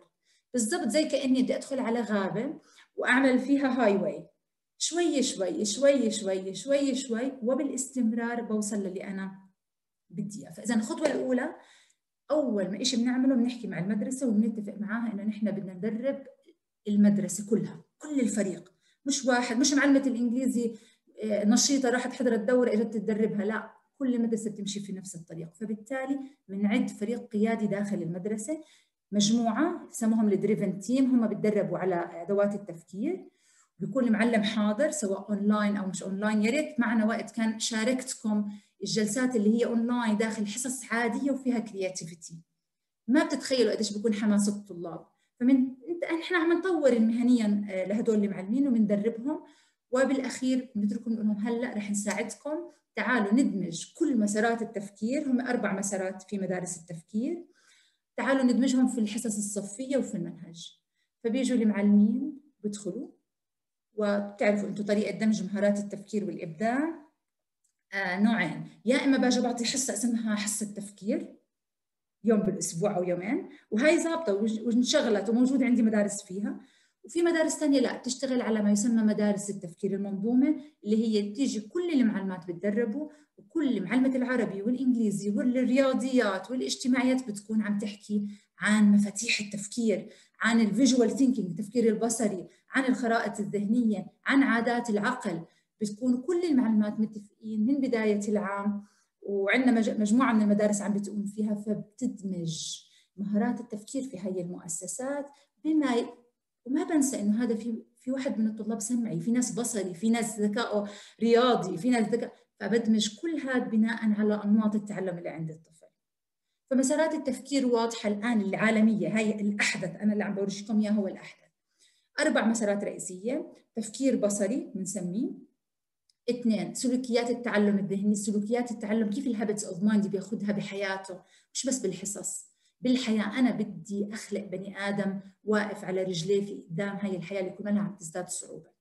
بدي إنسان يرتاح وهو عم بيتعامل مع الحياة. في أول المشكلة تحدي. المشكلة مش ما بيوقع أمام أول مشكلة بتصير فيه. فلسفة الأطفال بدي أصنع إنسان مفكر مفكر ناقد عنده أدوات الأسئلة عنده أدوات الفلسفة عشان يعرف يتعامل مع الحياة. طفل عنده أدوات التفكير. يعني من فعلا لو بدي سبحان الله بعيش التجربة غير اللي بيحكي فيها. لأنه أنا بعيشها كل يوم. فلما أنت تشوف طفل عمره خمس سنين بيقول لك أنا بدي أستعمل مثلا مفتاح العصف الذهني أو بدي أستعمل ال three whys ثلاثة لماذا؟ أو بدي أستعمل combination key أو بدي مفتاح الدمج أو وأنت بتحس طفل صغير قاعد عم بيستعمل المصطلحات وبيعرف يستخدمها. هذا الفرق بين آه إني ادربه على التفكير وهو مش واعي وادربه على التفكير وأنا عم بورجيه أدوات بيستعملها مع سبق الإصرار والترصد هو والمعلم والمدرسة. فبالتالي أنا بضمن نجاح هذا الموضوع. بس أخلص أنا والمدرسة وتدربوا المعلمين وخططوا و ماسكاهم من بداية. يعني هلأ مثلا ندرب مجموعة بيخططوا للسنة للفصل القادم. فبيوزعوا مفاتيح التفكير والأدوات التفكير على السنة. كل المعلمين بهذا الأسبوع بيحكوا هي الأداة بتقنوها. كل الطلاب ضلهم يتكرر عليهم يتكرر عليهم. فحتى بوصلوا لمرحلة الإتقان وهذا بدنا اياه مع الأطفال. بعدين بنسلمهم المفاتيح بنقول لهم نحن هيك سلمناكم الموضوع. يعطيكم ألف عافية وإنهم كملي يا مدرسة بهاي الأدوات. وانت بتقدري تشتغلي عليها وبعدها بياخذوا اعتماد عالمي من حقيقة من أعظم أنا بعتبرها أعظم الجامعات اللي بتشتغل على الكرياتيفيتي. هذا هون أنا بحكي دائما. في دراسات كانت دراسات طولية لما أنا أقول دراسة طولية يعني على هدول الطلاب نفسهم اللي خضعوا للتعليم بهذا الأسلوب على عدة سنوات. شوف هدول الطلاب شو صار فيهم مع الوقت. هون أنا بكون فعملوا دراسة طولية طلعت بال 2018 أخذت وقت طويل طلعت آه وأثبتت ارتفاع تحصيل مدرسي يعني هو استخدم أدوات التفكير صح استخدم أدوات الإبداع صح ولكن أيضا تأثر فيها التحصيل المدرسي لأنه صار active صار involved صار متفاعل مع المواد الدراسية ما عاد هو متلقي. آه بالإضافة إنه صار في مهارات المعلم صار عنده مهارات تكنيك جديد يستعملها بالحصة والمتعلم صار في تحفيز يعني بعض المدارس كانوا يقولوا لي إنه آه الطلاب تفاعلهم في الحصص اختلف. واللي نحن بنحكيه الآن في عندي تحسين بالانضباط والحضور. راح أحكيكم بعض المدارس اللي قالت دكتورة لانا يعني ما تخلي ضغط علينا نحن رح نعطي يومين بالأسبوع تفكير. وهدول اليومين اللي كانوا بيعطوا فيهم وبشهادة مدارس الأكاديمية بيقولوا لي إنه هدول اليومين اللي كان عدد الطلاب بقل الغياب فيهم. فبالتالي لما أنا أحترم عقل الطفل ومخ الولد وأكون مآمنة فيه هو ما رح يكون المقابل إلا تفاعل حقيقي منه. شو في استراتيجيات؟ خلينا بما إنه إحنا معانا كمان خمس دقائق أو عشر دقائق بعطيكم بعض ال tools. نعملهم أنا وياكم مع بعض. قلت لكم هلا بدنا نعمل نحن thinking outside the box okay؟ يلا. خلينا ناخذ إحنا بنسميهم tools ليه بنسميهم tools زيها زي عدة النجار. أول باب الباب خربان هون ما عم يزبط الباب بطلع. شو مناسب من هالعدة الموجودة؟ آه، okay. هلأ أنا بحكي لكم بالأخير. بيسالوني شو العنوان بقول لهم بحكي لكم بالأخير. هلأ أنا عندي مجموعة أدوات بفتحها وبطلع الأداة المناسبة وبستعملها. بالضبط هيك أدوات التفكير. لمين لاي أعمار من عمر آه، أربع سنين حتى نحن عندنا ال preschool اللي هم ثلاث سنين لكن فعليا من عمر أربع سنين المدارس اللي معنا لحد الثانوي. okay؟ هذا اللي هلأ عم نشتغل فيه. كانوا كنا بدنا نعمل prototype في الوطن العربي نجس نبض كيف الوضع. ما شاء الله كان تفاعل رائع. من الأهل يعني تخيلوا الأهل صاروا يقولوا نحن we are proud إن أولادنا بيحكوا بهي اللغة. لغة إنسان مفكر ناقد. في في كثير من الأدوات الحلوة هلا بورجي لكم اياها هدول عمرهم أربع سنين هي صور من أحد صفوف الروضة اللي نحن نشتغل فيها. آه، حاضر يا منال. أوكي ابشري. هاي آه، أحد مدارس روضة من رياض الأطفال اللي إحنا نشتغل فيها. هدول بيستعملوا شيء اسمه الانفوكي جمع المعلومات بنعلمهم كيف يصيروا باحثين. بعض الأدوات آه، بناخذها من وطبعا كلها اكريديتد من توني ريان اسمها ثينكر سكيز مفاتيح المفكرين ابداعي منعقد تكون مجموعة إلكترونية من أدوات التفكير بنستخدمها. هي funny وهي إلها عمق يعني شو بدي أحكي لكم؟ توصل لجوا جوا جوا مخ الطفل ولأنها بصور ولأنها بتفاعل ولأنها مدموجه في الحصة فبصير بتصير قريبة على قلبهم حقيقية أكثر مثلا زي هذا ال three whys لو بدي أسأل منال بما إنها منال اللي داخلة معنا على الشات أقول لها منال ليش أنت هون في هي الورشة؟ يلا لماذا أنتم هنا في هذه الورشة؟ سريعا سريعا. من أجل الإبداع. لماذا تريد الإبداع؟ لماذا تريد الإبداع؟ يلا يا أمير. منال للتطوير. لماذا تريد التطوير؟ لنتعلم. لماذا تريد التعلم؟ قالوا بعدين معك دكتورة. نحن عم نشتغل three whys لماذا لماذا لماذا بدي بدي يطلع عندي طفل مش سطحي؟ بدي دايما يدور على عمق عمق عمق الإشي. وهون عم بخلي إنسان مفكر. هون عم بطلع بإنسان مفكر. تمام؟ في أدوات ثانية مثل آه، آه، مثل مفتاح الدمج كيف أنا بجيب أشياء ما لهم علاقة ببعض وبطلع شيء جديد؟ جماعة ريادة الأعمال والإختراع والابتكار بيعرف عن شو بحكي. كيف أنا بدي أجيب أفكار جديدة ما لها علاقة ببعض؟ أجيب له هذا طفل ما بيفكر باختراع دغري بس بيعرف لما أحط له مجموعة حروف وأقول لك ويني أكبر عدد من الكلمات من هاي الحروف ببلش يركب معي. هون عم بصنع قاعدة عم بفتح هاي الطرق داخل الدماغ. شو ممكن تسموا لي هذا الحيوان؟ يلا. نفرفشكم. ماذا يمكن أن نسمي هذا الحيوان؟ عبارة عن دمج combination key هذا مش حصان بس. بدي creativity بدي creativity النسر السريع. حطوا لي بكلمة واحدة. سر محصون. أيوه أيوه بلشنا ها؟ بلشت ال combination key يشتغل. okay حصان ونسر مع بعض وتطلع. سر حصاني. بلشنا نكون creative مو هذا اللي بيشتغل بال creativity بنجن بالأخير عادي. okay؟ فنحن عم نخليه يفكر خارج الصندوق. بس بده أدوات. بده يصير مخترع بس بده أدوات. وأنا وياكم نعطيهم هاي الأدوات من هم صغار هون أنا ببلش اعلمه بعلمه كيف إنه يحترم وجهة نظر الآخر فبدربه على التفكير الناقد. كيف بتشوف الموضوع الواحد؟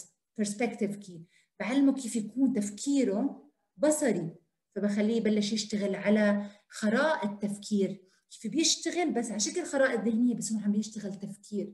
هون أنا عم بقول عم بشتغل مع طفلي بالتفكير الإبداعي والتفكير بعلمه المقارنه مقابلة بس بطريقة بصرية. آه ال children philosophy بصير أعلمهم فلسفة الأطفال بعلمه كيف يطرح أسئلة مهارات عليا بمستوى عالي. ماذا لو؟ what if مين يقول لي ماذا لو؟ حدا يسألني أي سؤال بماذا لو؟ ماذا لو؟ قطعت الكهرباء هلا. ماذا لو ماذا عن طلاب الجامعات؟ والله نحن هلا حاولنا محاولة بمصر ننقل هذا الحكي للجامعات بس لسه ما أعلنا. ماذا لو تحقق النجاح؟ ماذا لو انتهت كورونا؟ ماذا لو طبقنا هذا المنهج بالدول العربية؟ والله أنا هي رسالتي في الحياة وإن شاء الله ما بطلع من الدنيا إلا وأنا مأديتها يا رب. ماذا لو الإنسان له أجنحة؟ الله بلشت الكرياتيفيتي ليه بيعملوا برنامج متخصص حتى كيف يطرح الطفل السؤال؟ لأنه معظم الأسئلة اللي بتعاملوا معها الطلاب هي مبنية على الذاكرة. المعلمين بيركزوا على الذاكرة فبدي أجي أعلمهم كيف كل واحد من مستويات التفكير له لغة اسمها لغة التفكير له طريقة أسئلة في له طريقة أنشطة. فبنعلمهم كيف المعلم يسأل وكيف الطالب يسأل. هون أنا عم بوصل في مستوى عالي في التفكير. فمجموعة كبيرة من الأدوات اللي بنعطيها فعلا للطلاب. بدنا بدنا نحفزهم يفكروا بدنا نعلمهم يضيفوا تفاصيل. بدي إياه أي شيء لو كان بسيط بحياته موجود يقدر يستغله بالطريقة. مرات بنجيب لهم قلم ومن لهم أعطوني أكبر عدد من الاستخدامات للقلم بشرط ما يكون للكتابة. بدي أعوده يفكر خارج الصندوق. بدي إياه يكون خارج هذا الصندوق. توليد المعارف وتوليد الأفكار بالضبط.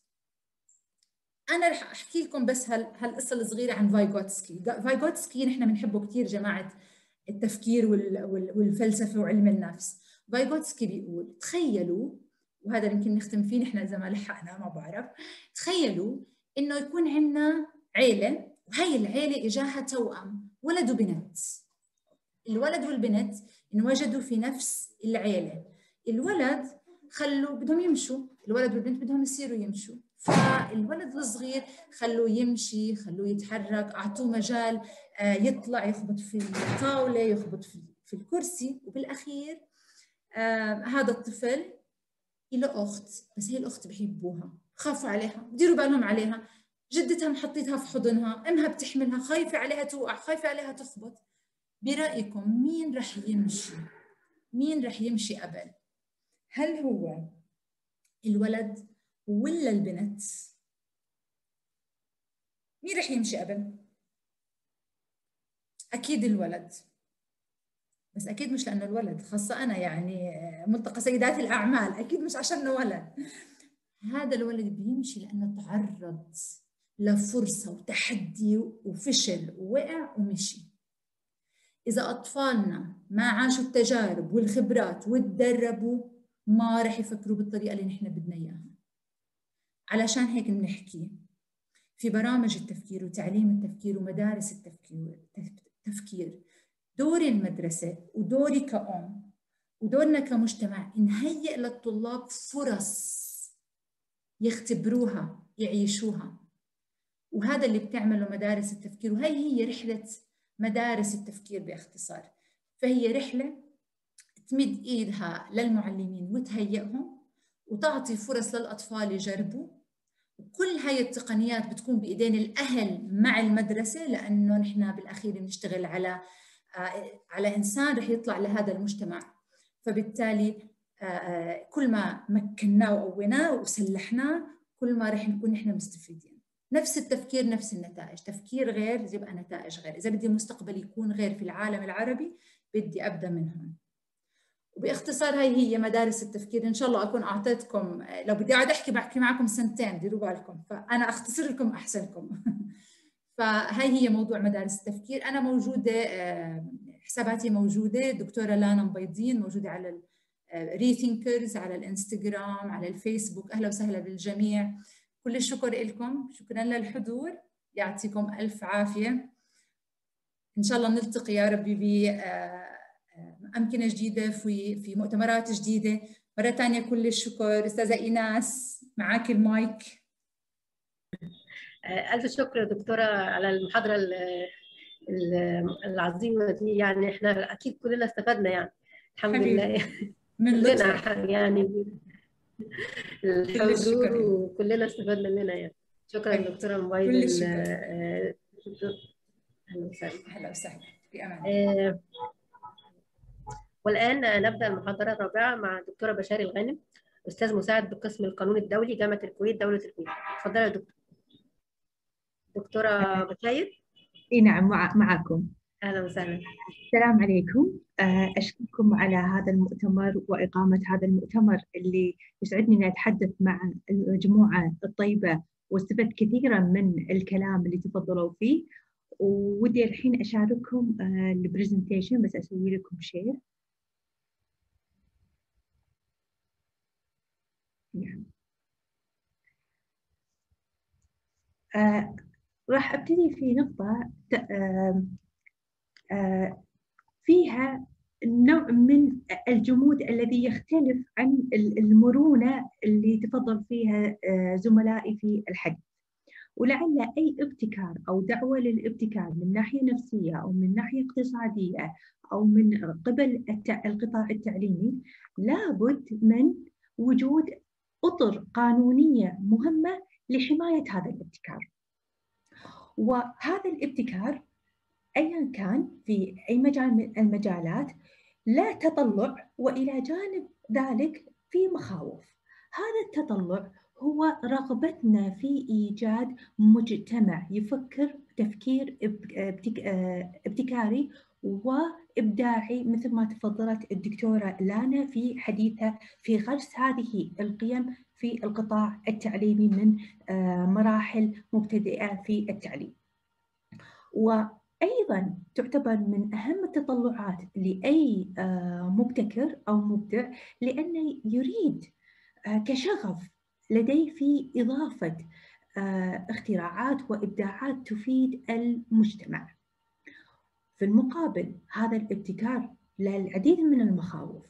أول هذه المخاوف عدم وجود بنية تشريعية تتلائم مع هذا الابتكار.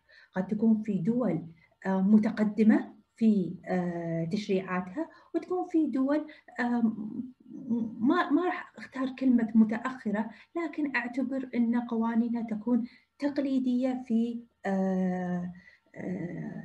احتواء الابتكار. أيضا من مخاوف الابتكار هو مدى توفر رؤوس الأموال الكافية لإخراج هذا الابتكار من إطار حمايته اللي قد يكون براءة اختراع أو تم حمايته بحق المؤلف أو العلامات التجارية. لكن يحتاج رؤوس أموال لإيجاد هذا الابتكار على أرض الواقع مثل ما تفضلت أستاذتنا الكريمة. أستاذة ثريا في الاختراعات في القطاع التعليمي إن إما يشجع المبتكر على الاتفاق مع شركات قائمة أو إنشاء شركات مستقلة. وإحنا اليوم نعيش في عالم المعرفة وعالم المعلوم المعلوماتية والتعليم والتكنولوجيا لهم تزاوج مهم ال الاختراعات اللي متوفرة على أرض الواقع هي نتيجة أبحاث وفرق بحثية يعني في عنصر من التعاون لا لا أعني في كلامي أن العمل الفردي مهدور لا العمل الفردي لا احترامه ولا حمايته في إطار القانون. لكن كلامي هذا أستشهد فيه في أحد التقارير الدولية. هذه التقارير الدولية بينت أن في بداية الألفينيات كانت الأوراق العلمية وصلت إلى 64% بمقابل البراءات الاختراع اللي تم تسجيلها 54% وفي منتصف الألفينيات زادت هذه النسبة. فصار الأوراق العلمية 80% وقفز عدد البراءات الاختراع إلى 70% فهذا يدل أن العمل التعاوني والشراكة له جانب مهم في دفع عجلة هذا الابتكار. وأيضا نشرت على موقع المركز الإحصائي لدول مجلس التعاون الخليجي ترتيب لدول مجلس التعاون في مسألة البحث والتطوير.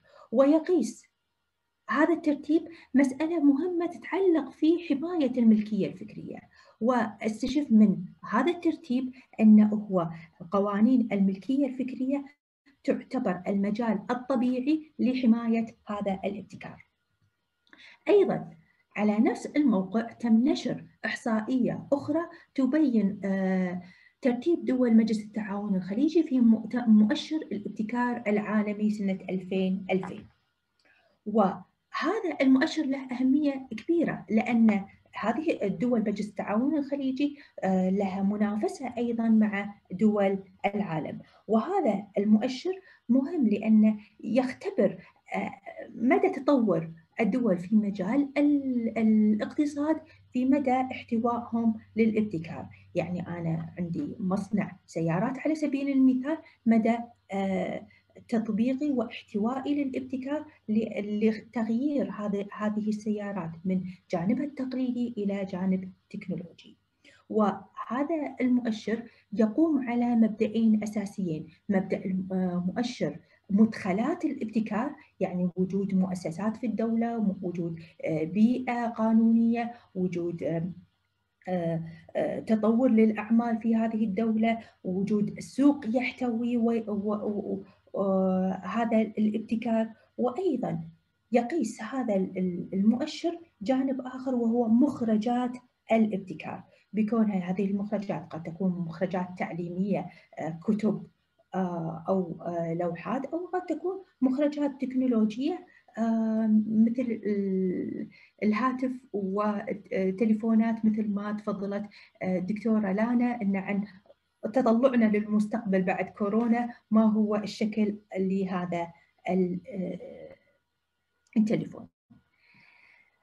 فإحنا لما نتكلم عن هذا الابتكار لابد من وجود حجر الحجر الأساسي لهذا الابتكار في حماية قانونية في قوانين الملكيه الفكرية. فأنا راح أتكلم عن مجال هذا الابتكار وحمايته في ظل قانون حق المؤلف وأيضا في العلامات التجارية وأخيرا في براءات الاختراع. أنا لما أذكر بس كلمة حق المؤلف سلسلة من ال ال ال ال الأمثلة الحين أكيد طرت على بالكم كتب قصايد برامج الكمبيوتر التطبيقات اللي تعتبر صورة من صور برامج الكمبيوتر اللوحات الفنية الصور كلها تعتبر من المصنفات التي يحميها حق المؤلف.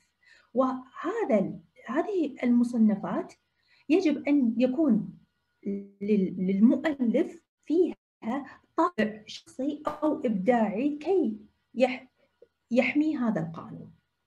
وفي نقطة يغفل عنها الكثر من المؤلفين وهي أن يتبادر لذهنهم أن درجة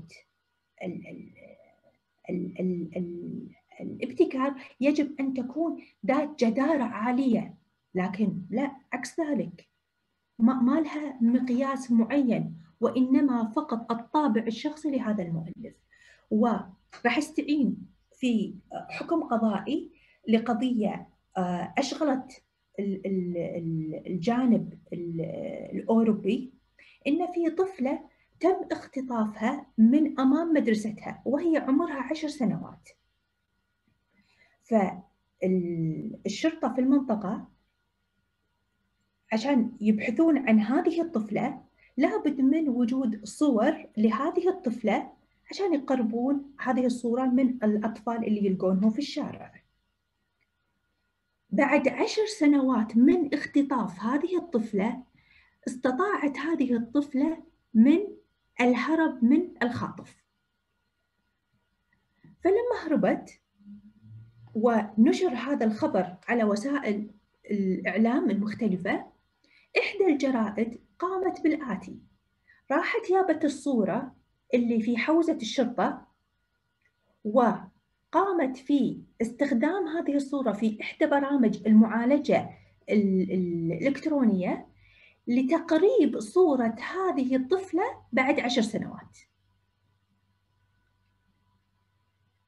فهذه الجريدة لما نشرت الصورة اللي هي الصورة اللي قبل عشر سنوات والصورة المعالجة اللي صورتها اللي ممكن أن تكون عليه المصورة لهذه الصورة شافت الصورة في الجريدة. راحت رفعت دعوة أمام المحكمة على أساس أن صورتها الأساسية اللي صورتها هذه الطفلة لم يذكر في الجريدة أنها هي مصورة الصورة. يعني لم يحترم حقها في الصورة بذكر اسمها بكونها المصورة. وأيضا لما عولجت هذه الصورة إلكترونيا بالتعديل لم يتم أخذ إذن من قبل هذه المصورة لتعديل هذه الصورة. فصار في انتهاك لحقها في حق المؤلف في الصورة. فالجريدة عند حضورها أمام المحكمة دفعت بعدم أهمية الصورة وأن الصورة غير محمية في, الجري... في, في, في قانون حق المؤلف. يعني أقرب لكم التوجه يعني أنا الحين لو بروح أصور في لصورة للجواز راح أروح أوقف وراح يحط المصور وراي الخلفية الزرقاء. فهذه كانت طبيعة الصورة اللي أمام المحكمة.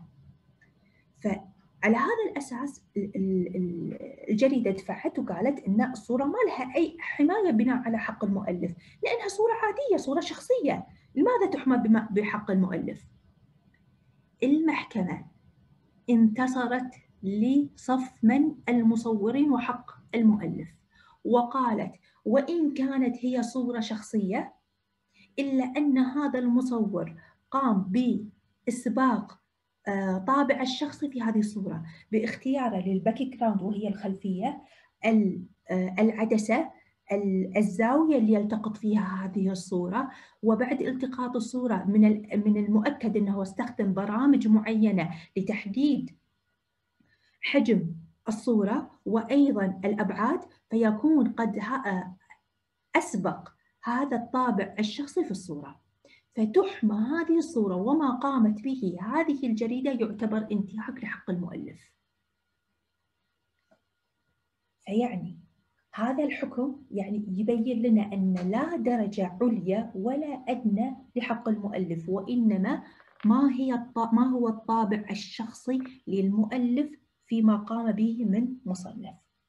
أيضا حدود الابتكار لا تقف بكوني أنا مؤلف فرد يعني شخص وإنما حدود الابتكار تكون أيضا في مجال المصنفات التي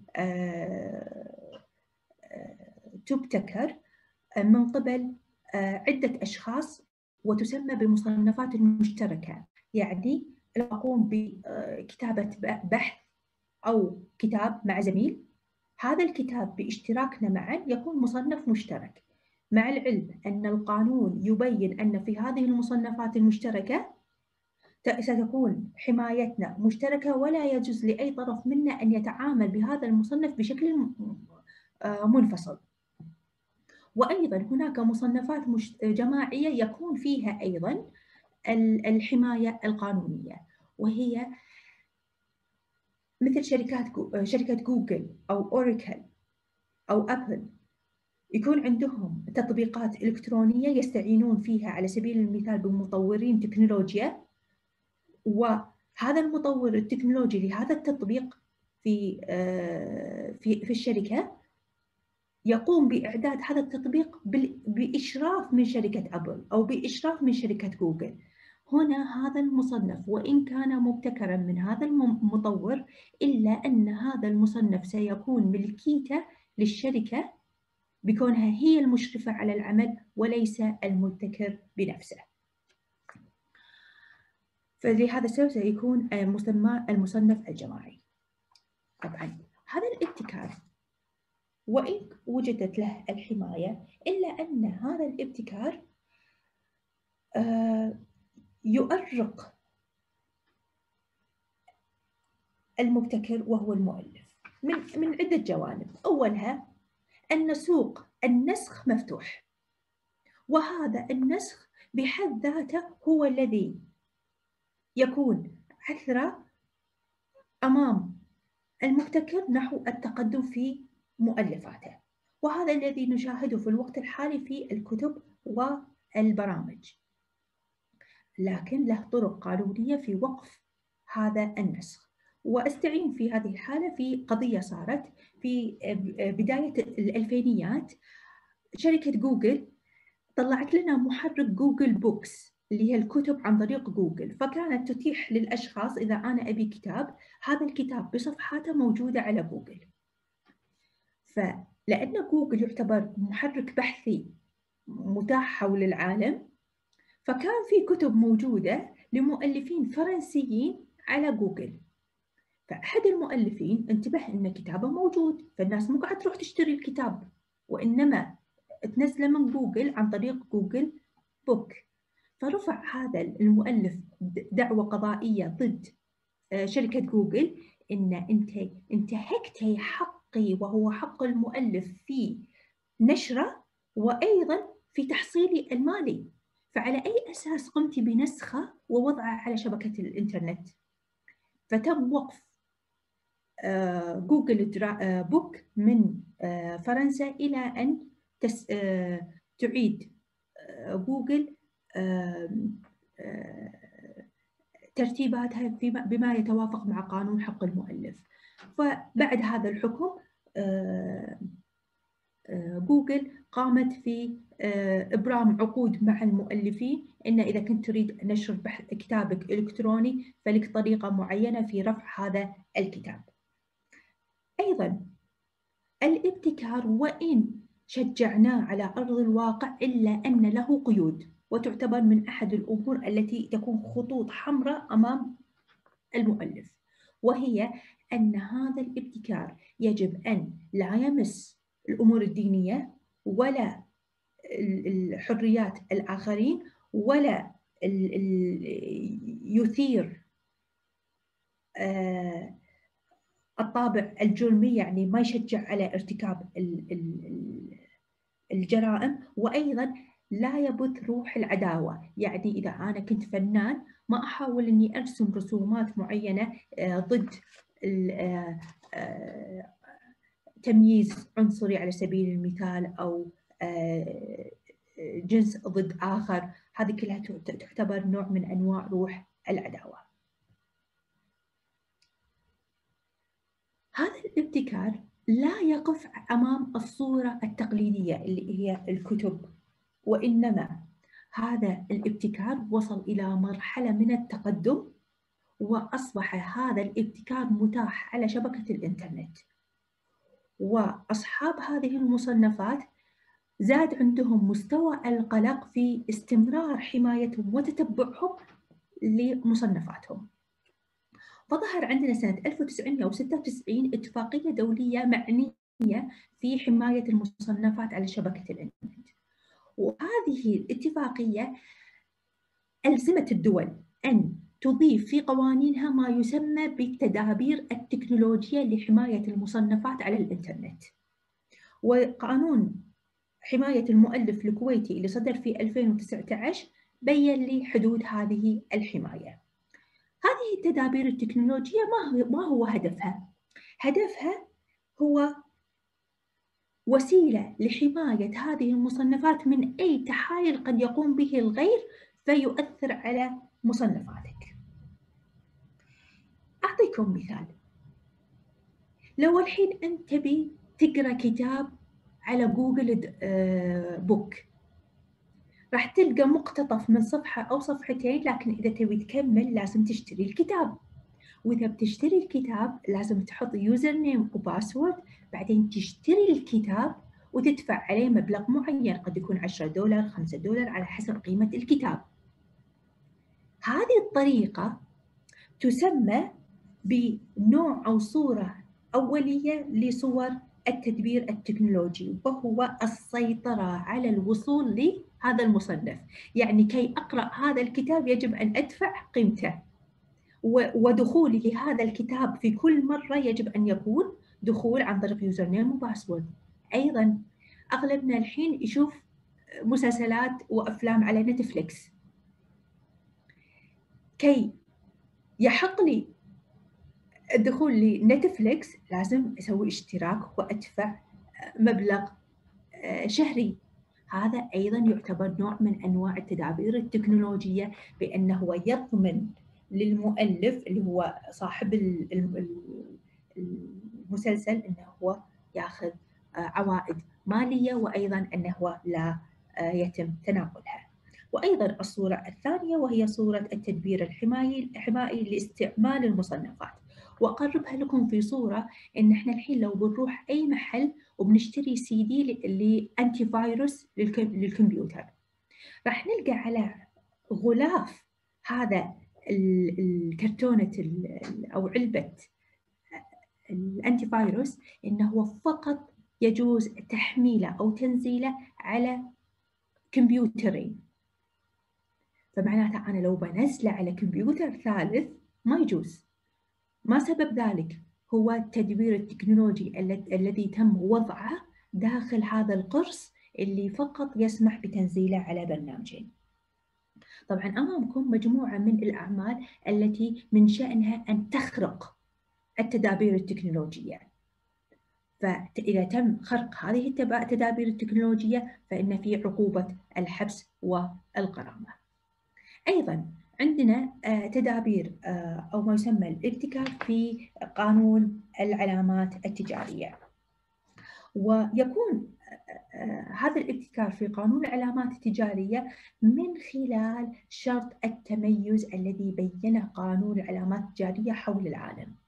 وأي قانون حول العالم كي يحمي علامتك التجارية يجب أن يكون في صورة مبتكرة لعلامتك. أن يكون لهذه العلامة صفة مميزة كي تتميز في سوق هذا المنتجات والخدمات المتاح ولا حدود له فكيف أحدد صفة هذا التميز في هذه العلامات التجارية؟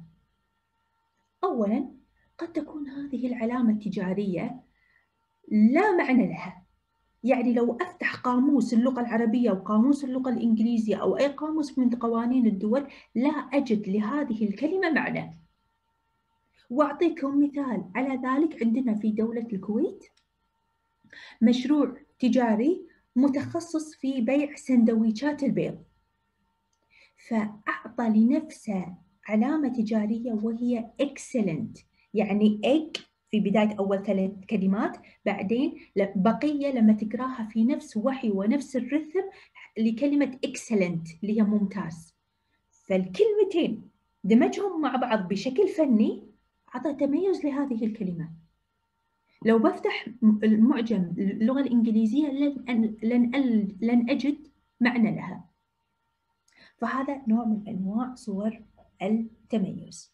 أيضا قد يكون الابتكار اللي التميز في العلامة التجارية هو أن علامة اسم موجود ومعروف ويتداول لكن يتم استخدامه في غير محله. وهو مثال قريب لنا كلمة أبل اللي هي تفاحة. تم استخدام كلمة أبل وين؟ على أجهزة إلكترونية. ما هو الصلة ما بين أبل والتفاحة ككون علامة تجارية لا صلة بينهما وإنما هي فاكهة كزاد آه وطعام لكن نستطيع استخدامها. أيضا كمثال آخر في شركة معروفة في قطاع الاتصالات اسمها أورنج. تستخدم كلمة أورنج كعلامة تجارية لخدماتها التكنولوجية وهي التليفونات وخطوط الهاتف. لكن هي أورنج برتقالة. فاكهة. لكن تم استخدامها وين؟ في قطاع الاتصالات. آه يمكن ما يمكن داهمني الوقت فأحاول أني أسرع في أيضا الشرح. في مسألة تتعلق في كيفية تقدير هذا التميز ووجود هذه العلامة في سوق العلامات التجارية وكوني رائد أعمال أن أبقي هذه العلامة في صامدة بالتنافس مع العلامات الأخرى. قد يكون هذا الأمر مبني على أن العلامة كل متكامل بما تحتوي لها تميز مثل كلمة excellent. يعني لا أستطيع أن أجزئها لازم أقرأها كل متكامل كي تعطيني هذا النسق في اللفظ والصورة فتركز في بالي.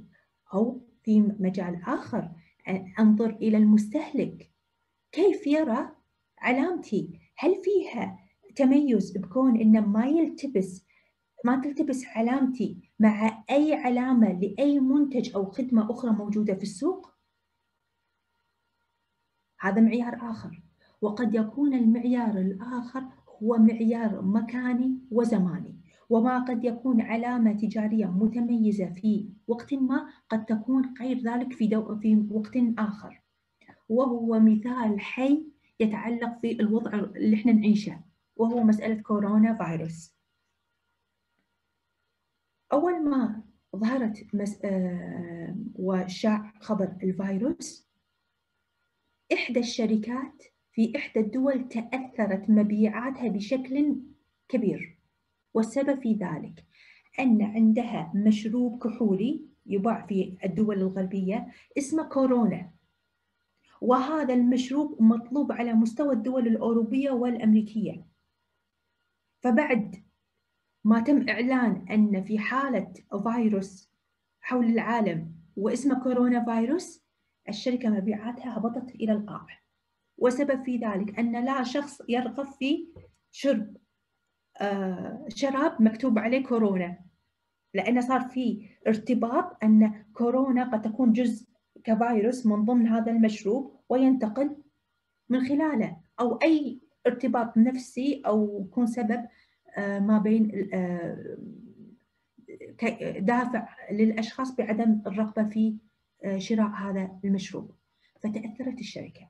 فصار من اسم لا رواجه وعلامة لها سوقها ووجودها إلى إلى علامة لا قيمة لها. علامة يجب أن تبني نفسها من يد من يد ويديد وتغير العلامة وتبث روح الثقة لمستهلكينها وهذا قد يستغرق وقت طويل للشركة. فهذا أيضا عامل مهم عند اختيار أي علامة تجارية.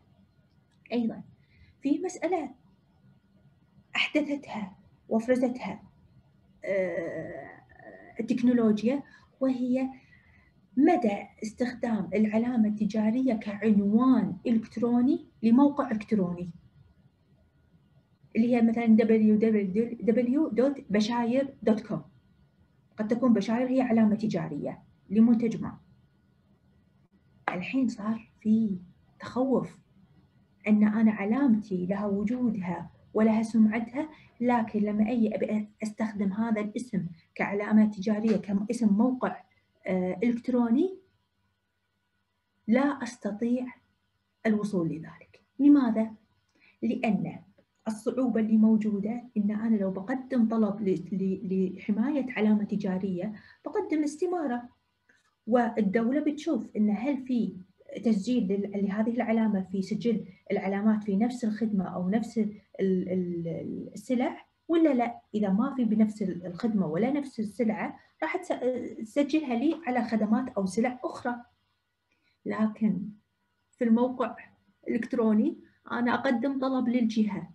والجهة بس تسوي search تلقى إن ما في بشاير dot com أو بشاير كموقع إلكتروني مسجل.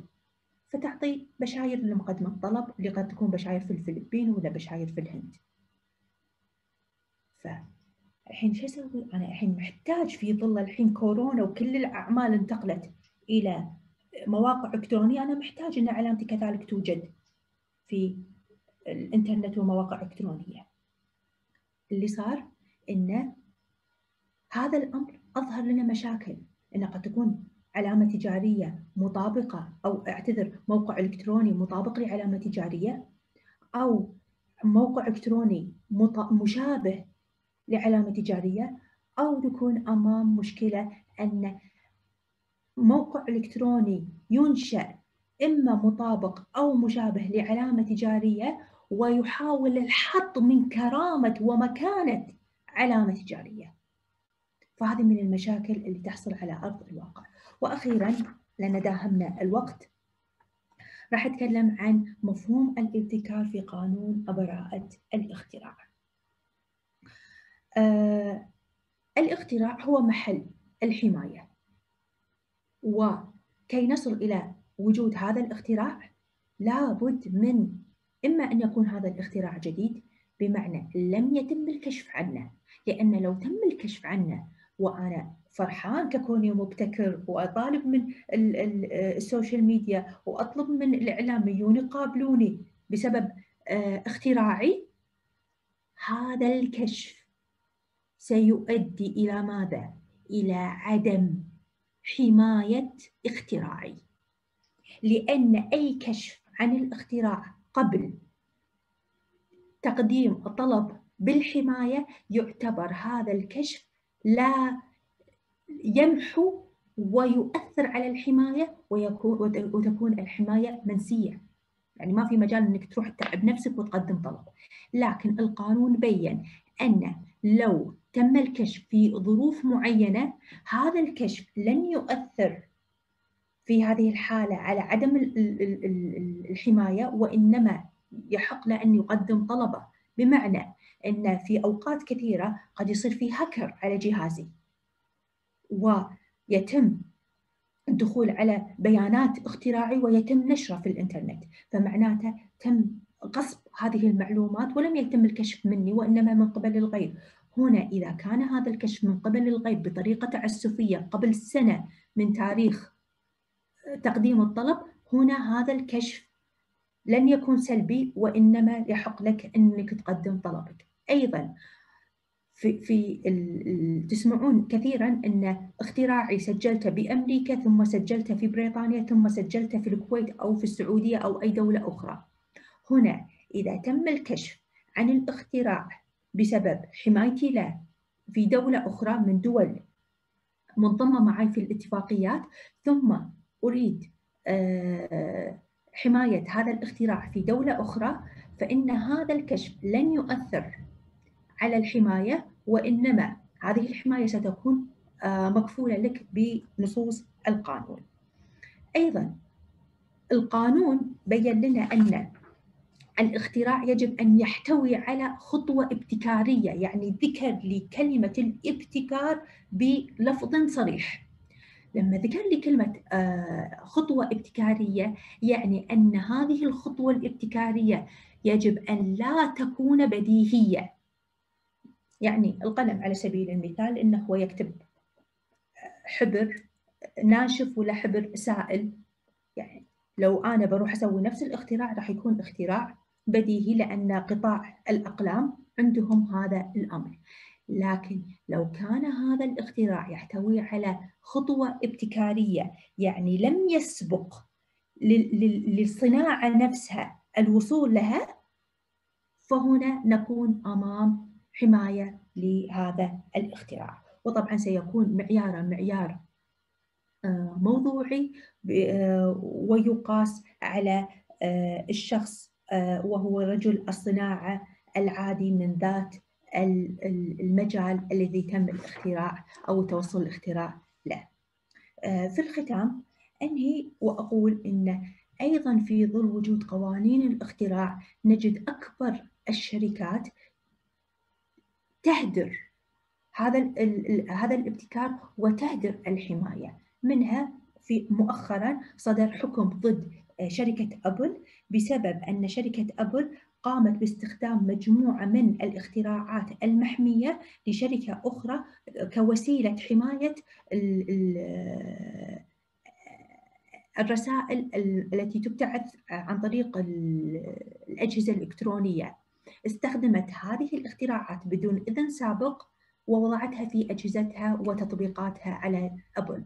فتم إصدار آه، حكم بإلزام شركة أبل بدفع 500 و 500 503 ألف آه، 503 مليون دولار للشركة الأخرى. فيجب أن يكون هذا الاحترام ليس فقط من قبل شركات آه، صغرى لشركات كبرى وإنما أيضا هذا الاحترام يجب أن يكون من شركات كبرى لشركات منافسة وشركات آه، آه، صغيرة أو آه، متوسطة. وأشكركم على حسن الاستماع وعذروني على ال- الإطالة شكرا جزيلا على هذه المحاضرة الهامة دكتورة بشار الغانم أستاذ مساعد بقسم القانون الدولي جامعة الكويت. آه، هذا وفي نهاية اليوم الأول من فعاليات المحاضرات إذ نتوجه بجزيل الشكر والتقدير والاحترام للسادة المحاضرين والسادة الحضور والسادة المعلقين على الشات وإلى اللقاء غدا. 7 أبريل في اليوم الثاني من المحاضرات الموازية للمؤتمر الافتراضي الخليجي الثاني. في نفس الموعد من 4 مساء إلى 6 مساء على منصة زوم والسلام عليكم ورحمة الله وبركاته.